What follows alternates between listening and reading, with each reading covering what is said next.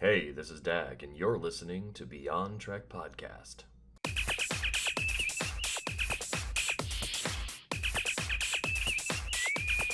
On a red alert. Hey, everybody, and welcome back to Beyond Trek Podcast.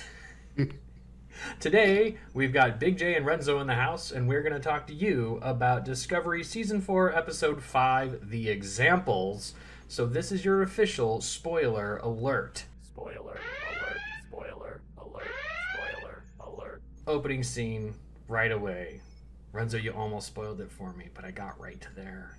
That was just really I great. think spoiling anything like being like, oh, the USS Janeway's there isn't that big of a spoiler. So I'm, I'm, considering your attempts to spoil the hell out of me for Oblivion Gate. I'm being hyperbolic. Uh, I don't really mean that. Like, I, I kind of take the opinion like the existence of something in a form of media is not necessarily a spoiler. Necessarily. If you tell me like Peter Parker from like the Raimi verse is in No Way Home, I'm gonna be mad because I haven't seen it Is he? I don't know. I ain't seen it yet. Haven't, haven't seen it. I'm staying away from YouTube. Yeah. No, my Twitter feed started lighting up, and I was just like, done with Twitter for the day. Yep, Good turn it off. Well, I'm going tomorrow night with Nacho to see it, and Awesome. I can't wait for that. Yep, I'm gonna be there in five hours. Oh, lucky Overnighting. Spider-Man podcast. with yeah. well, let's get back to these Vulcan ships. They're beautiful. they're reminiscent. Renzo, take us away. So what I think is actually neatest about it is that you can see some clear evolution from old Vulcan designs, whereas the older ring ships only had like one point connecting to the the annular warp drive, the round the ring drive. Uh, this one seems to have more, which is nice. the old ones only had one. Yeah, so the think I ever Suurok only had like the spike at the bottom that connected. Then the Yeah. D'Kyrs connected only on the sides, right? Yeah. This guy looks like I think he connects in three places because the thing on the bottom splits, which is neat. But we don't get enough of a look to be like hundred percent certain about it. But it's a real pretty ship. It, I actually really like the color of the lighting inside of the windows being different than the Starfleet ships. So the Starfleet ships' windows are all this like typical sterile blue white light that we see always inside. The one inside the Vulcan ship is much yellower or redder, which would match with the lighting of the sun of Vulcan, because it's a redder sun. So the fact that they would have their internal lighting match that makes a hell of a lot of sense. Yeah, get that vitamin D on their terms. But yeah, it was nice to see the NSS T'Pau alongside two Starfleet ships all together observing the DMA at the beginning of the episode. Oh yeah, It shows it's that. nice to see a joint mission Exactly. now. That y- yep. Sorry, didn't mean to take your thunder. no, no, you got Yeah. it. That's exactly it. It's just nice to see that the Ni'Var integration with the Federation is actually, you know, doing something. yeah. I I thought that the the look of the Vulcan ship, yes, it was it was great. It showed advancement, but to me, it seemed like it wasn't that much of a departure from Vulcan ships. From like okay, in almost a thousand years, they still kind of look the same. Hell, it looks even similar to Vulcan ships we saw in Enterprise. But I guess that's if there's nothing wrong with the design, you have nothing to fix. Yeah, Vulcans are a particularly conservative people, right? Like, Mhm. we know that they don't like change really much at all, and they've been spacefaring for thousands of years. So if they've got a design that seems to work well for them, they're going to stick. The biggest change that I see is the hull coloration on it. It's not great lighting, so I might be wrong here. If we get better lighting, it might look redder again, but the hull coloration looks that like that silvery blue color that we see more commonly on the 32nd century ships, rather than their traditional like reds and oranges. I actually thought it was a Starfleet ship, So just under a Vulcan design and name. So that that so got did me. I, but the fact that it's the NSS T'Pau is the Right. giveaway there. Ni'Var science ship, I presume, or something. Right. Yeah, I anyways, that was almost- a really interesting intro to the episode. I almost got a little excited because I, I got abrupt. I thought the Janeway was the science ship, and I was like, oh, So. Janeway's history and science, like they really like legendized her. That that that, that was really cool. On my first Um, watch of the scene, I had the same thing. That's actually why I messaged you, being like, "OMG, USS Janeway." that's what I thought it was.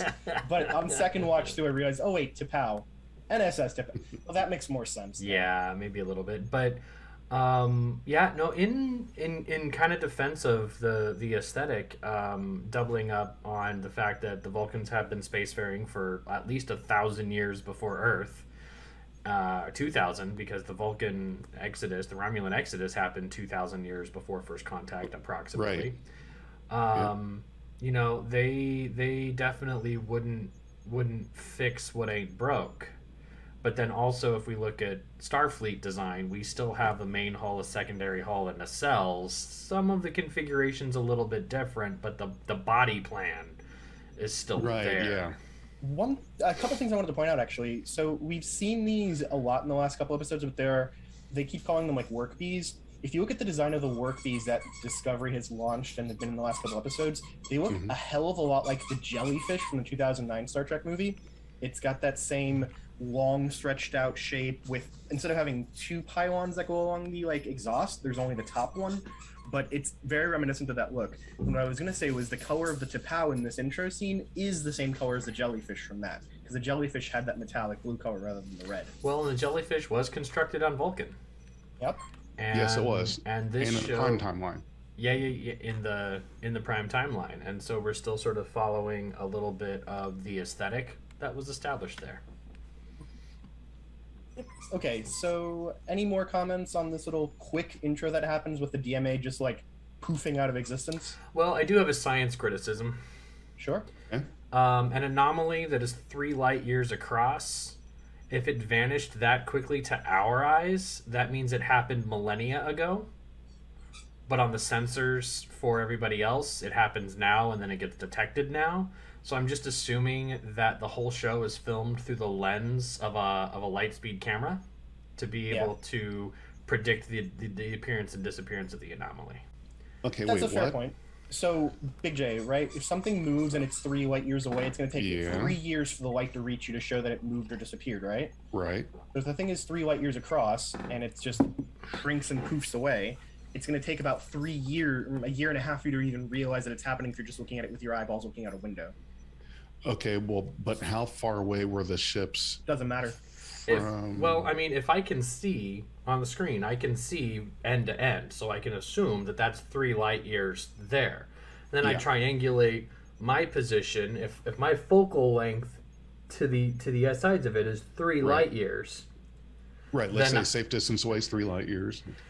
well, you know, if, if the focal length is, I can see both sides of it, so I can Uh-huh. see three light years at the end of that triangle. So Right. the the short end of the triangle is three light years across.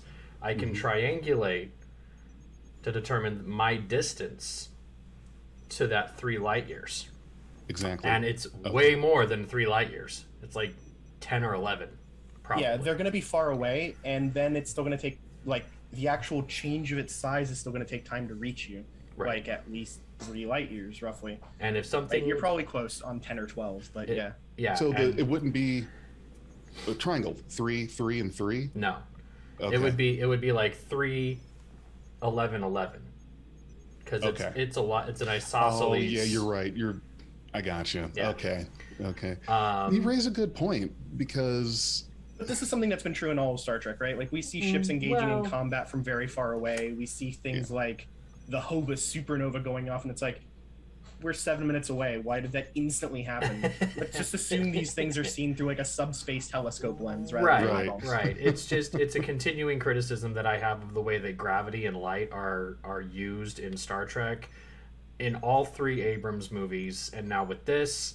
Um, the I don't get me wrong. The story is still compelling. The characters, I'm in love.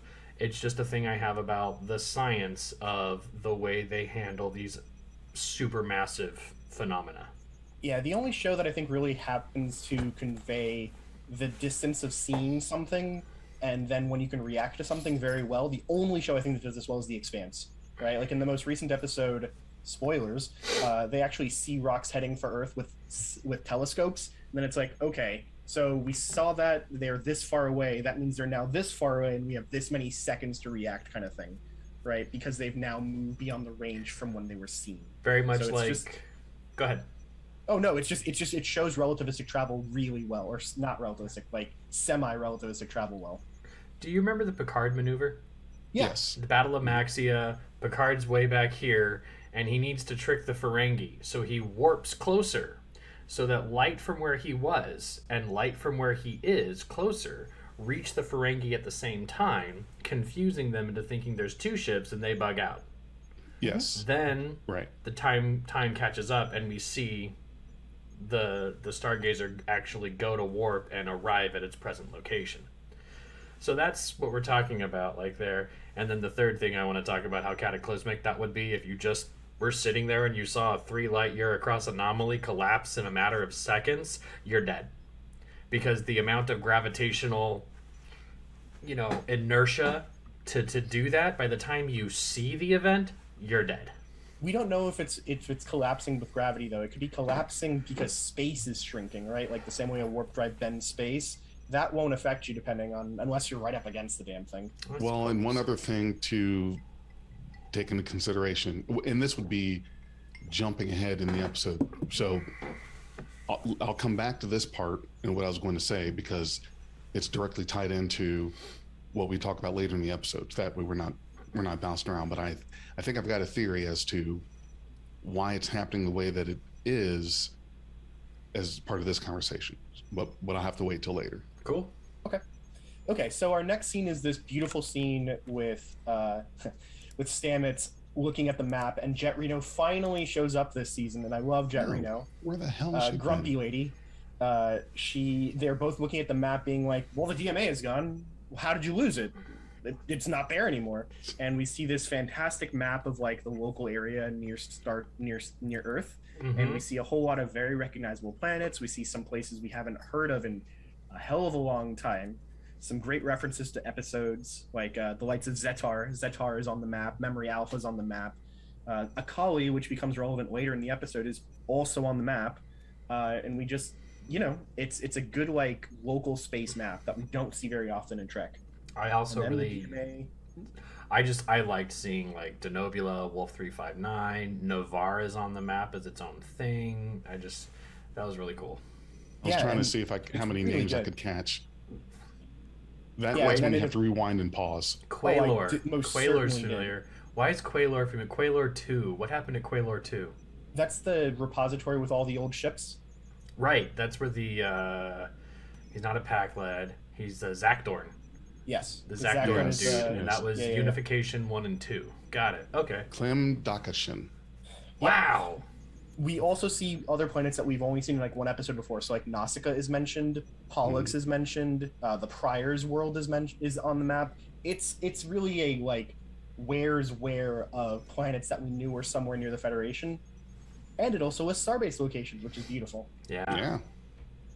So 4.2 seconds later, the DMA reappears a thousand light years away, which is terrifying. Yeah. And, and why? Because why not? Whew. Yeah, it also gives us an interesting thing of scaling for the Federation itself. So we know that from the map that they're showing us that it disappeared uh, somewhere near-ish to Ni'Var and Draylax, right? Mm-hmm. Which isn't very far from Earth, because We know that Ni'Var isn't far from Earth. Uh, and it appears near Deneva, which we know is a star, a Federation colony that's referenced as far back as TOS. Mhm. So in TOS, the Federation was already a thousand light years across. That's that's indi- that's interesting knowledge. That's not something that we knew before. That's pretty big. Yeah. I mean, So tra- traveling end to end on uh, Federation territory. Uh, sorry, I didn't mean to interrupt you. no, no, it just it's it takes a little longer than the one week trip that um, Picard's archaeologist, um, you know, he was the protege of when Yeah. they were looking at the. Yeah, we'll just go from one end of the Federation to the other. It'll take about a week, week and a half. No. Yeah. I um, should- By I'm trying to think Voyager speeds, it professor's should take you about a year, Galen. yeah, Oh yeah, that's right. That's right, Professor Galen. By Mhm. Voyager speeds, it should take about a year to cross a thousand light years, roughly. Right. So, Well, and then also, um, you know, to to look at TOS and be like, wow, it was already a thousand light years across. Um, I don't. I don't think that necessarily means that we'd explored the entire area. We could have just established a boundary, and that was agreed upon by some treaty at that time. Yep. The only other notable thing I wanted to point out, though, is some of the planets that we see here that have like blue markers on them, which I'm presuming means that they're part of the Federation on this. Uh, some of them are planets that we know were not Federation planets before, so it's interesting to see that now they're counted that way. Um, so one of the examples is Rator, which, if I remember correctly, was a Klingon world or a Romulan world, depending on when it's referenced. Romulan. Well, yeah, and Nelvana is another. Yeah, and, and the only thing I have to go off of with saying that's Romulan is because I play the mobile game Star Trek Fleet Command, and Rator, Rator, however you want to pronounce it, is in Romulan space. So you know, I don't know. That's Way cool. Yeah, yeah. in Picard, it was actually claimed by the Romulan Free Well, State. I know that and much. Even Right. Nel- Nelvana is on here. Mhm. And Nelvana 4, something else happened. I forget what. But, you know, Nelvana used to be like a film production company back in the early 80s, if you didn't know It- it- that. So Nelvana was in the Romulan neutral zone, which we know doesn't Yes. exist anymore because the Romulan doesn't the Romulan state doesn't exist anymore. So Right. The Romulan Free State 4. is now just the Ni'Var. but yeah, so anyways, it just shows some interesting progression, stuff that makes sense, all pretty logical shit, right? Like good Yeah. work here to the people who did the graphics and like told the graphic people what to put here. So all right. Uh, cut to our next scene, which is now Stamets explaining this same exact same discussion that we've just had to Saru, to Burnham, and to Book. Uh, and suitably, everybody's all freaked out because things don't just move in space without a reason, certainly not that fast. Uh, and they bring in a, a character that we haven't heard much of before. Jet Reno? she- no, no, no, Zora. I and we I'm get just- good discussions with her all episode, which I really liked. Yeah. Mhm. And I'm glad w- that we got the computer a little more because why not? It, it's almost like another character because you can have the conversation with it. Yep. You, you could kind of, sort of, a little bit on the um, 24th century ships, but it wasn't. It was more asking a question, posing a theory, getting a Statistical probability statistical or something. right uh, you know probability response but this one's like you know talking to an I would person so two things. I would say though that the TOS era computers kind of had a little bit of snark to them, right? Like sometimes when they would give answers to questions that were asked, it almost sounded sarcastic when answering things. It was pretty funny. Yeah. Majel Roddenberry was a genius for how she delivered those lines.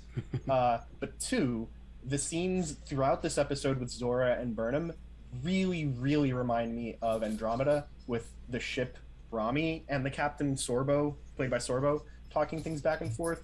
It's a lot like that. gotcha okay So the neat thing in this scene is we see that Booker automatically jumps to the who did this, why would they do this, how do I find them to snap their neck kind of thing, which Yeah. is Mhm. very reasonable uh, considering what he's gone through. he's been pretty gung-ho about a lot of this stuff like he's he's looking for something tangible to go after because to me this is a guy that needs to have a target a thing a person something to look at fight hit shoot whatever it is. Mm-hmm. and when you're talking about a subspace not subspace but you know an anomaly a dark matter anomaly you can't really you can't kirk chop that you, you know you can't do the double fisted overhand thing or the flying kick you, you can't do that stuff with this It's true. Yeah, it's it's a challenge for everyone involved, right? Stamets Yes. sees this as a scientific problem that he just has to understand, and he feels like he owes it to Book.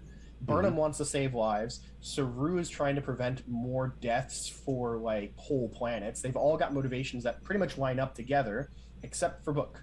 Book definitely is tinged with some revenge in this that I don't think anybody else is, and I'm hoping that that becomes like a relevant plot point later, where it's like, we caught the guy who's doing this. I'm gonna shoot him. No, we can't shoot him. He must be brought to justice. That kind of thing. yeah All right. So cut to our Hmm. next scene, which is now back on Federation HQ. We've got uh, Vance talking to Stamets, Saru, and Burnham, and they're explaining to him again the same thing that we just discussed for the last two scenes. Um, and they mention that the DMA is now moving again, and it's threatening an Akaali colony on the Radvek asteroids. Um, and it's not hundred percent sure that it's going to hit it, but it's like a one degree change can either destroy it or it'll pass right by. So they have to evacuate. They can't risk it. why are there times where it's visibly moving to where they can be able to say this may be a problem in a few hours, but then it can also just vanish, reappear. I'm not even sure that it's moving in this case. I think its effects may just take this long to reach there, kind of thing. Mm-hmm. Because gravity propagates. I mean, it doesn't Normally. propagate at the speed of light. It, It does. doesn't propagate. No, it doesn't. That's the weird thing. Uh, it propagates kind of differently. It's very scientific mumbo jumbo at this point for me. But gravity can propagate faster than the speed of light because it propagates at the speed of space, right? I mean, Okay. if you Uh, if you try to factor in the expansion of space, but light also increases in those rates area to to balance it out. So technically, Right. gravity travels at the speed of light. Space doesn't always function appropriately. Right, and this thing just moved a thousand light years in 4.2 seconds, so it's gonna take. It, I assume that that's what's going on here. I don't think that the whole orb itself is just like moving around like a disco ball, Mhm. right, or like a bowling ball, but its effects probably take some time before it reaches something, or it. Remember how it discharged energy once, or it discharged the gravimetric waves or whatever? Yes. That might be what's got what has a travel time. IDK. The thing is isn't isn't real science, so we really shouldn't try and apply too much to it. Right. It just doesn't you're make right. that much sense. We already talked about how they are, you know, free freehanding it when it comes to gravitational effects. yeah. Oh, yeah. yeah it's it's difficult to try and apply what we know to things that they don't even know about in the show yet so Right. Uh, so the big problem that they mentioned is that even before the asteroids are destroyed the effects of it are going to render transporting and communications basically impossible so they've got to go now they've got a cutoff point and uh, they've got to begin evacuations immediately the colony itself is not a federation member uh, it was in former emerald chain territory hmm So they're doing this as a goodwill mission. Doesn't matter that they're not Federation. We can. We're the only entity big enough to help. So let's fucking do it. It's Yeah. a very good, noble Federation thing. Definitely good. Like Vance's pr- presentation of it. Uh, and Saru asked a really good question about like, what are we going to do when people realize that the DMA uh, is not necessarily a natural phenomenon? It's going to scare people. And uh, Vance answers that Rillak is already working with our planetary allies, interstellar allies, to explain this so that we can keep the people calm. Good. Well, oh, I'm sorry. I'm sorry. No, I was just gonna say that's good. Yeah. Yeah. Well, and I can I get the fear, but honestly, there have been space is a dangerous place, and we've certainly seen that. And peril is almost always right around the corner. So, I I, I don't know. If, yes, uh, of course, you wouldn't be less panicked or stressed than anything else, but I think that the way that this season has portrayed this anomaly uh, or or even the the burn from last season is is that these are things that are uh, federation ending events or you know will make you want to pull out of some coalition just because it's there. And to me i would think that well there's been just maybe not worse but there have been some pretty bad things. And so it, it, it just seems like people are ready to jump ship at the first sign of of trouble So I'm with you with regards to the DMA. The DMA mm-hmm. doesn't seem that much scarier to me than say like the the, The Doomsday weapon. No, the Doomsday weapon or the Borg. Those are both Right. good. Yep. Right? It doesn't seem any scarier than either one of those. But the burn definitely scarier. The burn Yes. turns off warp travel everywhere. That's that's big enough to fall apart, right? That'd be like if you took the United States and turned off electricity and destroyed all of the roads for the entire country all at once. We would fracture into city states everywhere, kind Right. of thing, right? Right. Like Yeah. Atlanta would have no connection to Seattle, so they wouldn't consider themselves part of the same country. They they work as their own entity, right? right was very I it much like if uh, if uh, Big O sunstorm hit Yeah. Earth and wiped out all electromagnetic and everything. Any electronic device wiped out. No telecoms, no satellites, no cell phones. We very much would all be fending for ourselves. mad max Yeah, I get it for the- mad max The DMA is definitely scary. The fact that it appeared out of nowhere, destroys a planet, disappears, moves somewhere else, it's pretty terrifying. Um, but it doesn't seem to be doing it, at least so far, like with malice. It's not going to planets that it thinks are important and blowing up just those planets or anything. It's not targeting with intelligence, right? The Right. Borg definitely did. I think the Borg are still scarier than the DMA. But Yes. the Borg also never did we see destroy an entire planet, uh, homeworld in like seconds. We never really saw that. So Right. That wouldn't be their goal.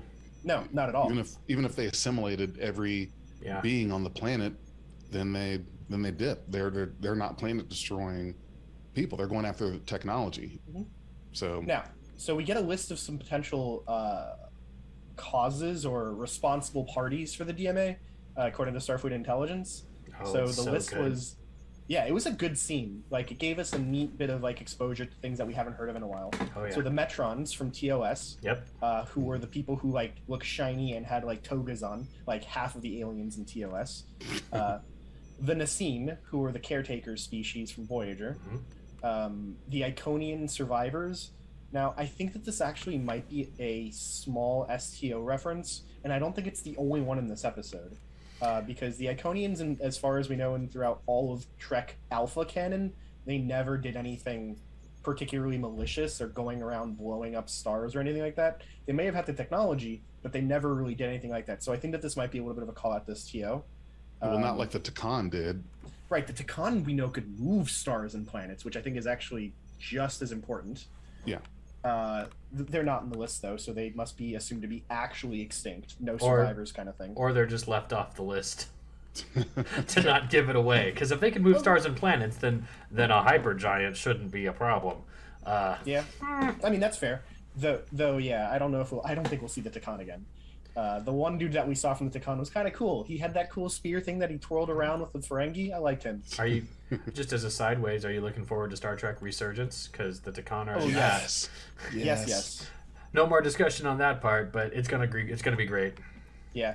Okay, so and then the last one on the list is the Q Continuum, uh, which were considered but dismissed from the list because nobody's seen them in 600 years, Six which I think is very interesting. years. So it's 3189, which means no one's seen them since 2589, which is only 200 years after Picard. Yeah, Good point. The thing that I find really strange, and this is going back to your earlier point, Big J, about like why are people so scared? They've seen planet destroyers before. Right. Is a show like Lower Decks, which we know has some tongue in cheekness to it and is a comedy, right? Treats things like AIs that conquer planets like this is this week's one. We'll get to the next one next week, kind of thing. This is an all the time thing. They probably would handle a planet destroyer with a similar kind of glibness to it. They handle black holes that way, which I think is great. Um, but here they're handling it very seriously. Same thing with the Q Continuum. The Q Continuum in TNG was like, oh god, it's Q again. He's back. Um, but when it shows up on Voyager, they're like, oh god, it's Q, like serious thing again. In Lower Decks, when Q shows up, Mariner's like, Q, go away. No, no, no, I don't have time for your shit. Go away. Right. Right? Which I thought was perfect, right? Like, it depends on how you approach these things. Yeah. If Q shows up everywhere in Starfleet and just annoys people that he kind of likes here and there, then okay. It makes sense that most people would react to him as like he's an annoyance. But if he only ever really hits on Picard and just ruins Picard's day and then tries to screw Janeway and then gets punched by Sisko, then he's still very enigmatic, very limited, and then most people don't have any exposure to him. Yeah. So it, it's kind of like contradictory presentations for these things, and it might just be because uh, Mike McMahan loves making references and likes trivializing some things, which I think is fine. I, and I I'm think Lower interested Decks to- is the perfect vehicle for that kind of attitude. Yes. Agreed. I- I'm interested to see what was that occasion with the Q that suddenly they're just like Not you know, interested. yeah, we're They done. bounced to the mirror universe before the split. No. Um, I had uh, a thought about that as well. Like the, the another reason why it's taken so dramatically serious here is Kwejian just earned its freedom from the the chain a few months ago, and now it's gone. And how many others of these of these people who have no, only known you know basically a wretched existence for the last hundred so years during the burn? How many of those people are now going, we just earned our freedom, the Federation's coming back, hope is here, and now there is this completely mind boggling threat that is wisping planets out of existence without even realizing it. And now it can travel a thousand light years in four seconds. That that kind of growing up in that kind of way and now suddenly realizing we just earned our freedom and this thing can just wipe us out and and we would be forgotten all of us that is an existential threat Yeah. Speaking of being forgotten, the species that lives on these uh, Radvek asteroids is, is are the Akaali, which we last saw on Enterprise as a pre-warp civilization. The, the little dingy Little things. Delta oh my thingies, god, yeah. that's Yeah. right. I thought they looked familiar. Man, that's, Yeah. that's good. Yeah, it's a it's a great callback, and they have the same makeup. They didn't look crazy different. It was it's a mm-hmm. good callback to it, and I just like the fact that you know, from Enterprise's time to this 32nd century, they've clearly become warp capable. They clearly had expanded some, and then the burn and the Emerald Chain messed with them essentially, messed with their development. But they had progressed. They weren't still stuck on just their one lonely, shitty planet that even Yeah. Archer didn't seem to like. Yeah. All right. Yeah. Uh, You know, Cool, I, so- the other oh, discussion that he was having there was it. I started to feel like Stamets was getting a bit of the relics treatment from from uh, Admiral Daddy over there. Um, Stamets Yes. was like, "Wait, you're replacing me? But I have all I need." He's like, "No, we need experts in all of this technology," and it's just a flat statement. He didn't say you're not qualified. He was just like, "Low key, we we need topper minds than you have." And Stamets has to go from being the toppest mind to being run of the mill. And that had mm-hmm. to be hard for him, but I think it makes total sense. Where a thousand years later, your top ass mind is now run of the mill. That's Yes. perfect. I don't even think he's saying that you're run of the mill. He's just saying like, so we asked the Ni'Var Science Academy, and they're out of ideas. You haven't made this enough progress. Let's give somebody else a shot, and I'm gonna press gang Ruon Tarka into doing this. Yeah. I don't care what he's working on before. This is more important now. Well, and if you if you have someone that has the experience and the knowledge and may be able to help, you can't not do that just because you have this. I, I want to say he's e- egotistical. Stamets has always come off to me as having oh, yeah. a, big ego. dare I say, even some narcissistic tendencies about himself. He's like the the top Column A, column alpha D. dude. It, right? Yeah, yeah. And so, for someone to get assigned to to help him, there was nothing I heard A- Admiral hmm. Vance say that implied that he's going to be your boss. You report to him. Oh yeah. He outranks you. It was just there's going to be a, a teamwork here. But Stamets, like like anything else, if if you even make him think that he is not basically the traveler level or Q Right. level intellect, then you, you've offended him. You know, he he, he can't Yeah. take that. He's no, gro- that's all accurate. he has grown a little bit, but he definitely began the ser- the show as I am I am the law, do what I say or die. Right. Yeah, Yep. I, I agree. Yeah, though I do think it's interesting that the guy that they bring in is the guy who's been heading the Spore Drive uh, upgrade and development project. I don't know if that experience is particularly relevant for the DMA. Let's that'd be interesting to find out. Maybe the DMA is some sort of manifestation of like the Spore space, right? Or the Josep or something along those lines. Who knows? We don't know enough wouldn't yet. that be? but- Wouldn't that be incredible if just Spore Space had tunneled through from something they did a thousand years ago and is now, you know, drawing on the power of the mycelial network to to do its little search. Yep. That'd we also scary. get a good reference here about the uh, the character Aurellio, who's been working with uh, Ruon Tarka on developing the new Spore Drive. Aurellio, if you don't remember, was the Emerald Chain human who was the one who was like trying to hack Stamets' brain and take control of Stamets to use the Spore Drive for the Emerald Chain. hmm Uh, so that was all very interesting. I'm glad that the guy is actually, you know, being put to good use. Um, the actor Kenneth Mitchell is one of those like heroic types, so it's good that even a reference to him comes around. Yeah, he's a cool guy. Well, he also played um, uh, first season of Discovery. Yeah, he was a Klingon. Um, what was the? Oh my God, what was the Klingon's name? I swear. Tenavik. He was Kol and Tenavik in Kol as far, yeah. Kol's the one I'm thinking right. of too. Yeah, Kol. Way to go, He- dudes! He was also a voice actor on Lower Decks. He was like the Twirk captain and like other things too. So Ah, Okay. he's been all around Trek since since Discovery season one. And uh, yeah, he's really awesome. He's suffering from ALS, like he's in degenerative states for it. yeah. I and like that. that. was why they changed what roles he could play, but he still wants to be involved in anything he can. So very cool. And that's why Aurellio had that badass chair. Right, the floating chair. Yeah. Mm. Oh, so Anyways. we cross over to was it Burnham and uh, Burnham and Book? Mm-hmm. We get our Burnham and Book scene where, like, as usual, Burnham is trying to calm Book down, right? About let's not go so gung ho. We will figure this out. Clam, right? Like Clam is important here. So they're going to start by saving limes on Radivec 5 and you know we will figure this out and book just needs to do something this like Mhm. drive to be involved in things Well, it keeps him.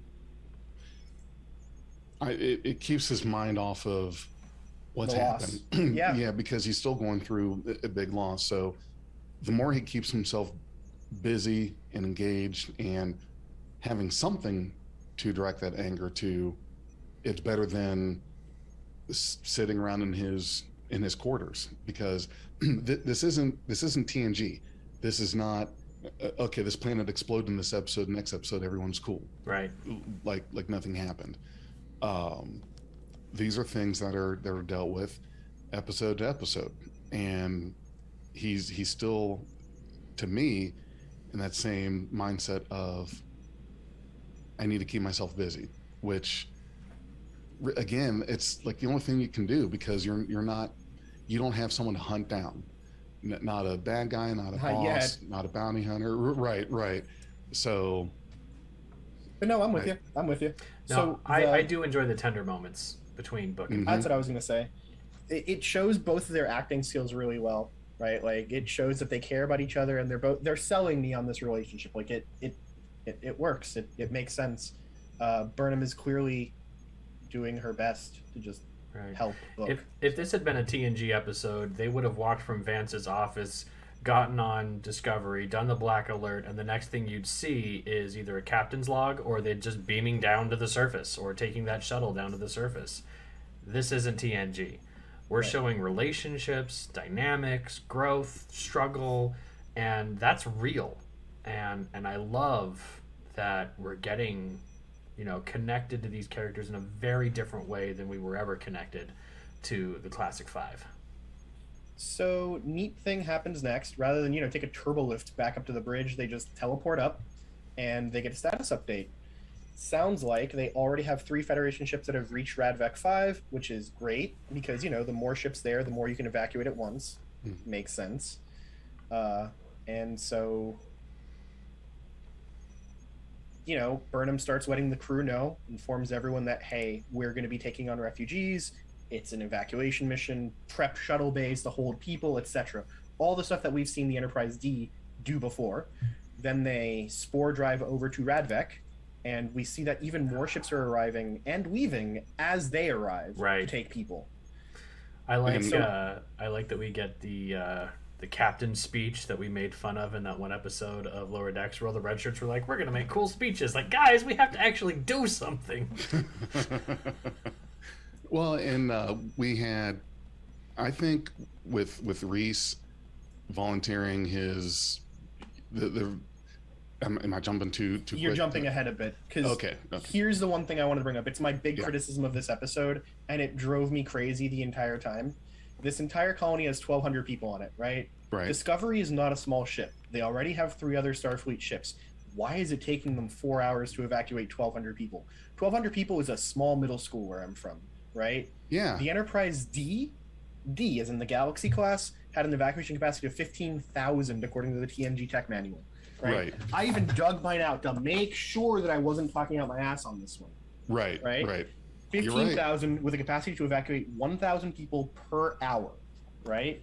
Mm-hmm. one ship alone, and their transporters were a lot slower than Discovery's. We've seen that over Yes. and over right again. right And Why they is it didn't have, taking so long? and they didn't have a cavernous turbo lift system like the Discovery has. I mean, they could have fit everybody just in there in this magical Hermione's purse thing that's that's on Discovery.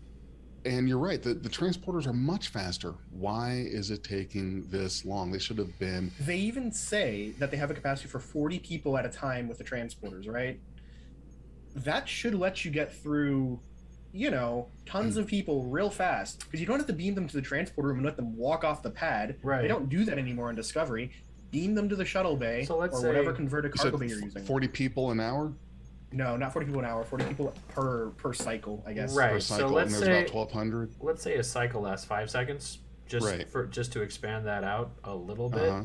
Everybody's pulling out their calculators now, but if you can beam up 40 people every 5 seconds, that's two well, and we're uh that's like a lot. 12 15 minutes. Yeah. I, I did I did 1200 d- divided by 40, so that's 30 cycles. At 5 seconds a cycle. At five seconds a cycle would be And we get- 150 seconds. So that's 3 minutes. Yeah. Okay, so It yeah, it should have been freaking done in three minutes, and they had three ships. At least three ships. There were three ships that were already there when they got there. Who knows how many more showed up over the next ah. four hours? So That's ridiculous. Yeah, it should the not have been that big of an operation. Exactly. Here's the exceptions I'll give. Maybe it's because people had to like grab some belongings, but then we know that people were walking around the ship without anything because the girl brought nothing. Well, right, and we also end of the know episode. that these people had already evacuated to evac zones. Yep, because they were all those- ready anyway. to go. Those other six folks were the outliers. yeah, they were ready to go. Right. So this this whole premise to me is way too small scale. Give me two extra zeros on the number of colonists or the number of citizens there, Yeah. and then it makes more sense. Then you need a massive number of ships to pull people off of it. 40 Yeah, and it- people each get- cycle. So if it's if we're talking three minutes for twelve hundred people, multiply that by ten, that's thirty. Still not enough. Multiply that by ten, that's three hundred minutes, and we have a four we have four hours to do that. That's now there becomes a rush. that's a push. Right. That's a so push. that goes from having 1,200 colonists to having 120,000 colonists, right? Mm, Right. That's a huge fucking jump. But my point is, the numbers are too small to Yeah. impress me on this one. So like, it seems real small scale to me. You know, Right, like- maybe maybe it was because they weren't all grouped together in one place, and the ships actually had to like target lock to different sites. Because you're looking at these these asteroids, and you guys. I don't know if you guys can see them, but the the audience can see them, and we can see there's these little green areas of force field, which is presumably habitat. It's a bunch of asteroids. There's these cables tethering together. Um, you know, there there might be interference. There are you have to actually pilot to within range of one of these places. We're already we already know that that interference from the DMA is going to cause some problems later on. Um, and we also don't know the state of these other ships. Are they just flying in because they're the closest ones in range and they haven't had a refit in 50 years? But Yeah, it's a thousand mean- years later. Yeah. right? Like I just have some expectations here. Like the numbers are just too small scale. Now, Yeah. I can make some exceptions for things, right? This isn't the end of the world. It just seems a little small fry to like to take that long and to freak people out this way, right? Well, and the the other thing I was just sitting here thinking about because we're talking about how how quickly transport happens now.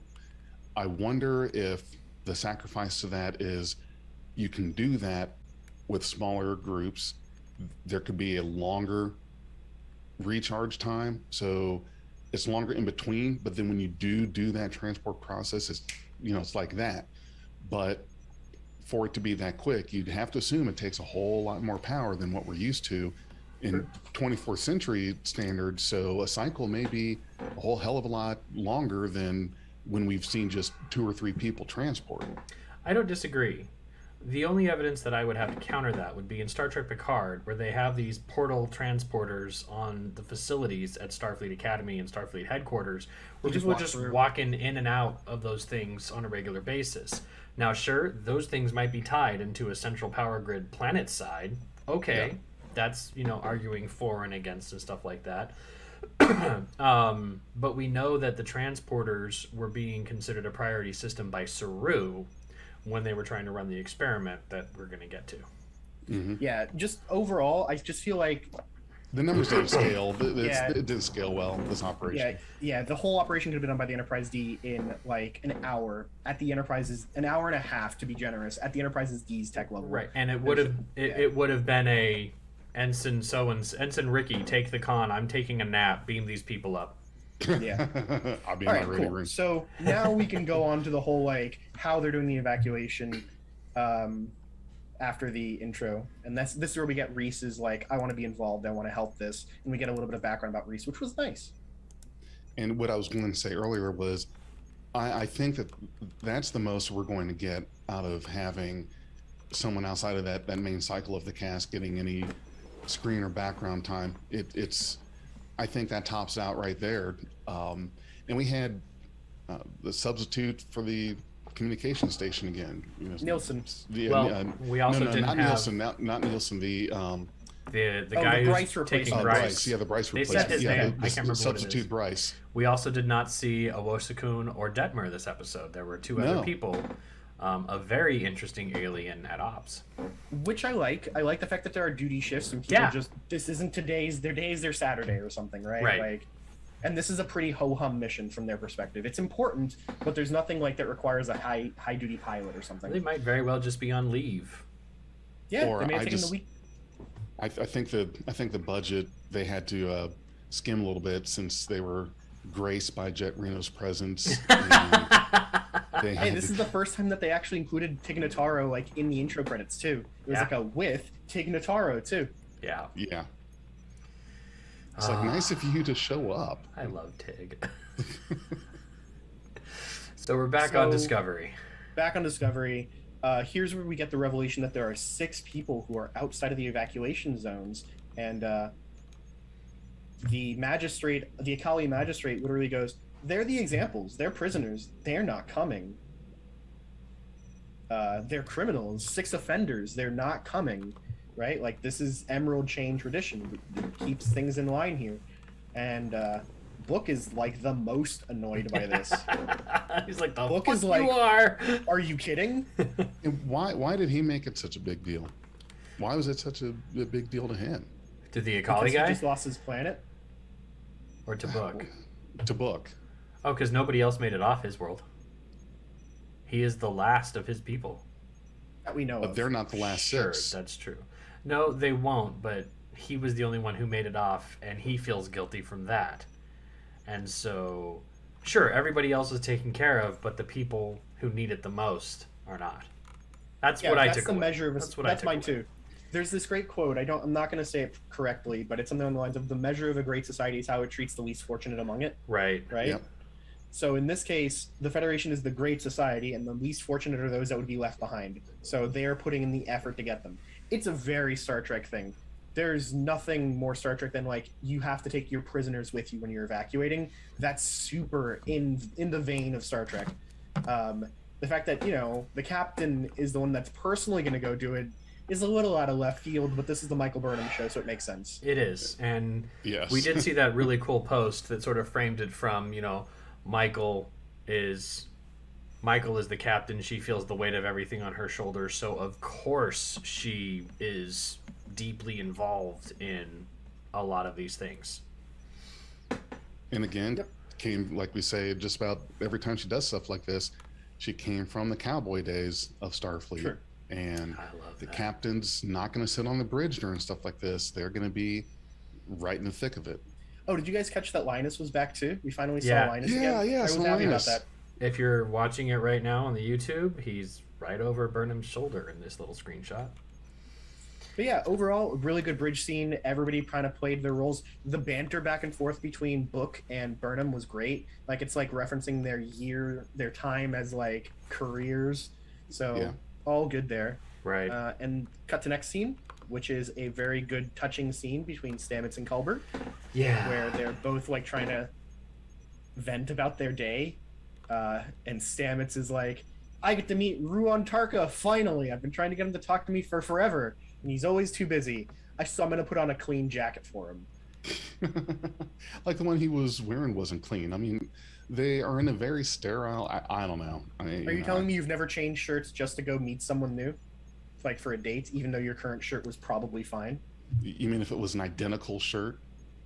or just Like a with- different shirt? Well, that's that's different. Like, uh, yeah, I would put on instead of wearing a T-shirt or something, I'd put on nice button up.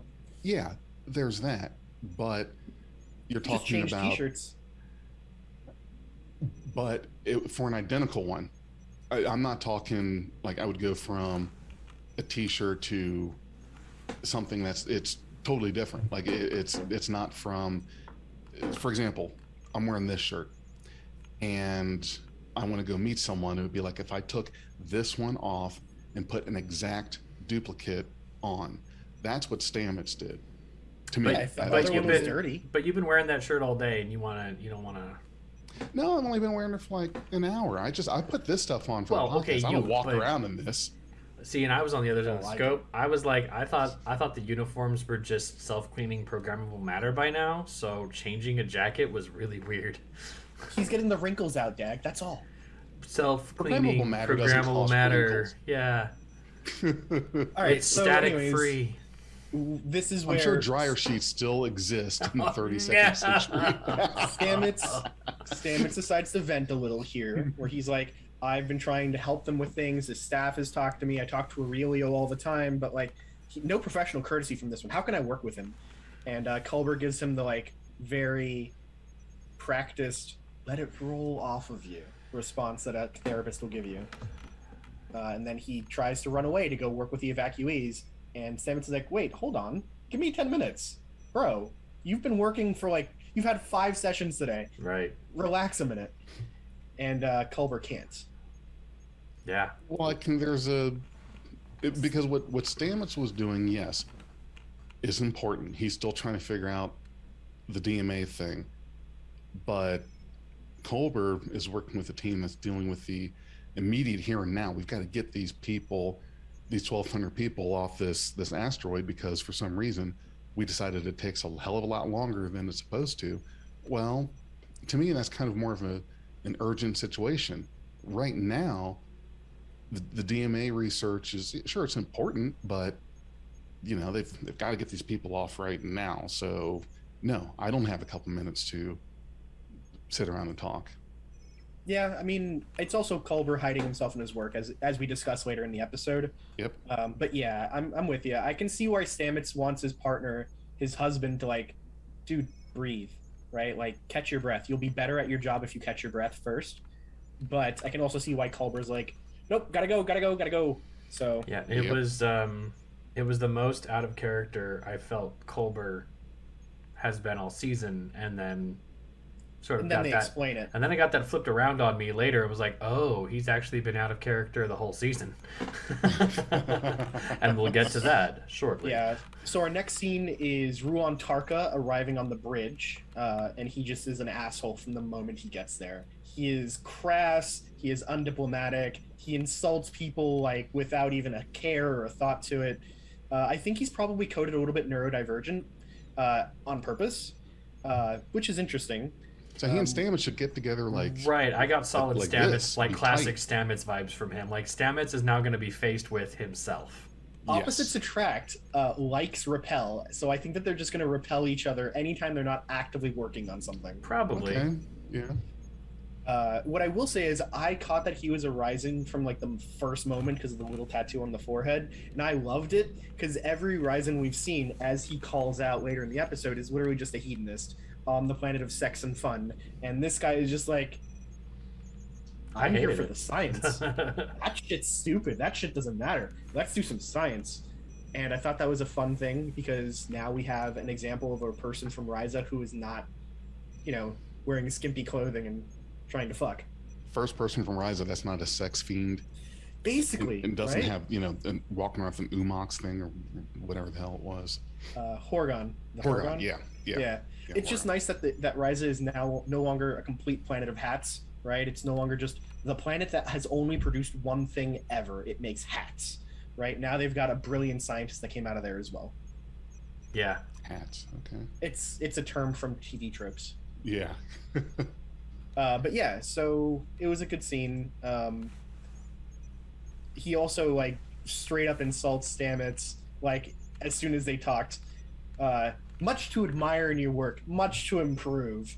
Yeah. So it's like, and the the acting on Anthony Rapp's face is just like, oh, this bitch. Yep. It was great. I'm a big fan of Anthony Rapp's reactions to this. There are so many gifts that should be made from this. I'm not going to be able to see that scene the same way now. Yeah, and then there's the scene where they're walking off the bridge and he comments on like Saru's feet. You really do have the strangest Yeah. feet. It's like very crass. Like, Again, excuse it's me. just um Yeah. it's just uh what is it? Um I don't know, lacking Isn't there? lacking the filter. i- Yeah, like isn't said, there I- actually a medical might term or there, there's a term for just you know someone who just doesn't no filter. I thought that there was something actually. I don't want to diagnose the guy, but I think Yeah. he's supposed to be coded as neurodivergent. I think he's supposed to be coded as like an autistic person that it Okay. just doesn't have a filter or something. Like I think Oh. that's how they kind of kind of try to portray him. I don't know if that's intentional or not, but that's the vibe I get from it. Hmm. Um, and it is an Mhm. interesting take. It's See, and I would a little step bit. back from making any kind of diagnosis, not because I don't agree with you, but because I'm not qualified to even Right, go there and fair. say anything about that. But I've done Well, my that- that's research fair. on Facebook. I'm qualified to pretty much say whatever the hell I Welcome want. to the and- Beyond Facebook podcast, where we're right all the time, and any news you watch is not us. all right. It's not so news. It's just entertainment. anything more on this scene, or cut or cut to the, uh, the to the prison. Cool. Cut to the prison. So they're walking up to a cool, shimmery green force field, which I love the look of, and they're just scanning away as you do. And that's the uh, shield blocking force field and comms interfering force field. And they meet up with Bryce, and uh, they've only beamed up 160 people so far. So they are four cycles through, you mean Uh, Rhys. or Rhys, you're right, sorry, Yeah. to Rhys, and they're only four cycles through and beaming people up, so they are taking their time. And uh, here's where we get this fun background on why Rhys is so gung ho on this mission, why he's taking charge of it, and it's a good reason. On whichever planet he lived on, the town that he lived in, uh, his entire village got destroyed, or his entire city got destroyed by a hurricane Mhm. and uh, Starfleet were the ones that showed up and saved them. And this is back in the 20 sec- 23rd century, so that's very much on brand. Much more, So- much, long time before the weather WeatherNet. Well, it probably Oh, wasn't on Earth. yeah. I'm not assuming it was on Earth, but Oh, well, I kind of went with that, you know. Um, one thing I really loved about the planet description here is the placement of this of this asteroid. Um, you know, facing away from the sun, it gave it the perfect angle to emulate those those classic gradient surroundings that were featured in Star Trek the original series, where you just had like green to dark green, or purple to dark purple, or blue to dark blue, and it was just that was the background of this set. And then rocks everywhere, rocks on everything. Let's do Galileo 7's rocks, or the the the Spock's brain rocks, or the other rocks. It's just planet rock, and so I thought this was a really cool callback. And why was Right it so with you. close to their to the star in that system? I mean, to me, that looks closer than frickin' Mercury to our sun. Isn't there going to be a problem that's it's not in the habitable zone, and yet we have that's what we technology people- is for. Force fields, I'm stretching here, but again, gravity situations, I'm just like all of them, they're incorrect. right? But they're artistic. They're pretty. Yeah, yeah, I think It- that's all it- it is. I think it's just artistic license on it. supposed to, yeah, it's supposed to be pretty. yeah. And they've got technology that we know can handle it. We have Starfleet ships in the 24th century that can just hang out in the fucking Corona for hours on end, right? So Yes. that's wild. So we have metaphasic shields around these things, Yep. a thousand years improved. And sure, your little asteroid conduit thing, you know, debris can sit next to this star, that's fine. But it's going to take us four hours to beam up 1,200 of your people. Right? It just doesn't. It boggles. It boggles. Okay. Uh, now I will say that the prison itself is really cool looking. It looks like something straight out of uh, Cyberpunk or out of like Blade Runner. Like it's got Whoa. this real industrial pyramidal look to it, and some floating bits even. Big fan. Uh, and here's where they walk up and find that Narissa beetle thing. That is really cool, but they're but they're not real. right. They're yeah, they're landmines. they're little heat-seeking walking landmines, and I was like, shouldn't landmines be outlawed by some kind of accord by now? You think the Emerald Chain follows the Geneva Convention? Right. Yeah, the, the Do you think Emerald Emerald Chain Train has pretty even much. heard of the Geneva Convention? Uh, Probably by this point, probably none of them have. N- No one in, in Starfleet or on Earth. Geneva? Where's Geneva? We Right, ne- right, none of us have been to Earth in a hundred years. We, we know we know the Khitomer Accords and the uh, Treaty of Algeron and some of those big ones, but uh, yeah, mines. And to me, I think that is a brilliant idea. Yeah, of, of course you would take these now were they? They weren't. Um, were these were these manufactured? Are, uh, well, because it's it's an AI, or were they started maybe as real beetles and then they they kind of quote unquote assimilate them or Totally went for the with transformer explosives? angle. Yeah. Like they, they were like little landmines that popped up to be bugs that turned into little General Grievous star sh- little escape ship saw wheels. circular saw thing. Yeah. You know, it looked exactly like the weapons from the aliens in the Battleship movie, which I know is a shitty movie, but they had these giant red blade things that would slice through like highways and through ships and such. Huh. Aliens? No, Which battle, one? the Battleship. battleship movie. Oh, battle. Oh, yeah, yeah, yeah. Yeah. Battleship. See, and exactly. I I Yeah. went for the the Tron discs. I get that too. You're little right. Bit, little bit of Tron vibe Legacy. there. But I haven't seen the Battleship movie, so Oh, definitely set aside some time it. for it with like a bowl of popcorn and some drinks. It's pretty terribly funny. Rihanna is the best actor in it reco by a mile. recommendation um, accepted. Cool. All right, so they pick up that the bug itself is acting kind of funny. It's gone the exact same path four times back and forth. Real suspect. Things in nature probably don't do that, according to them.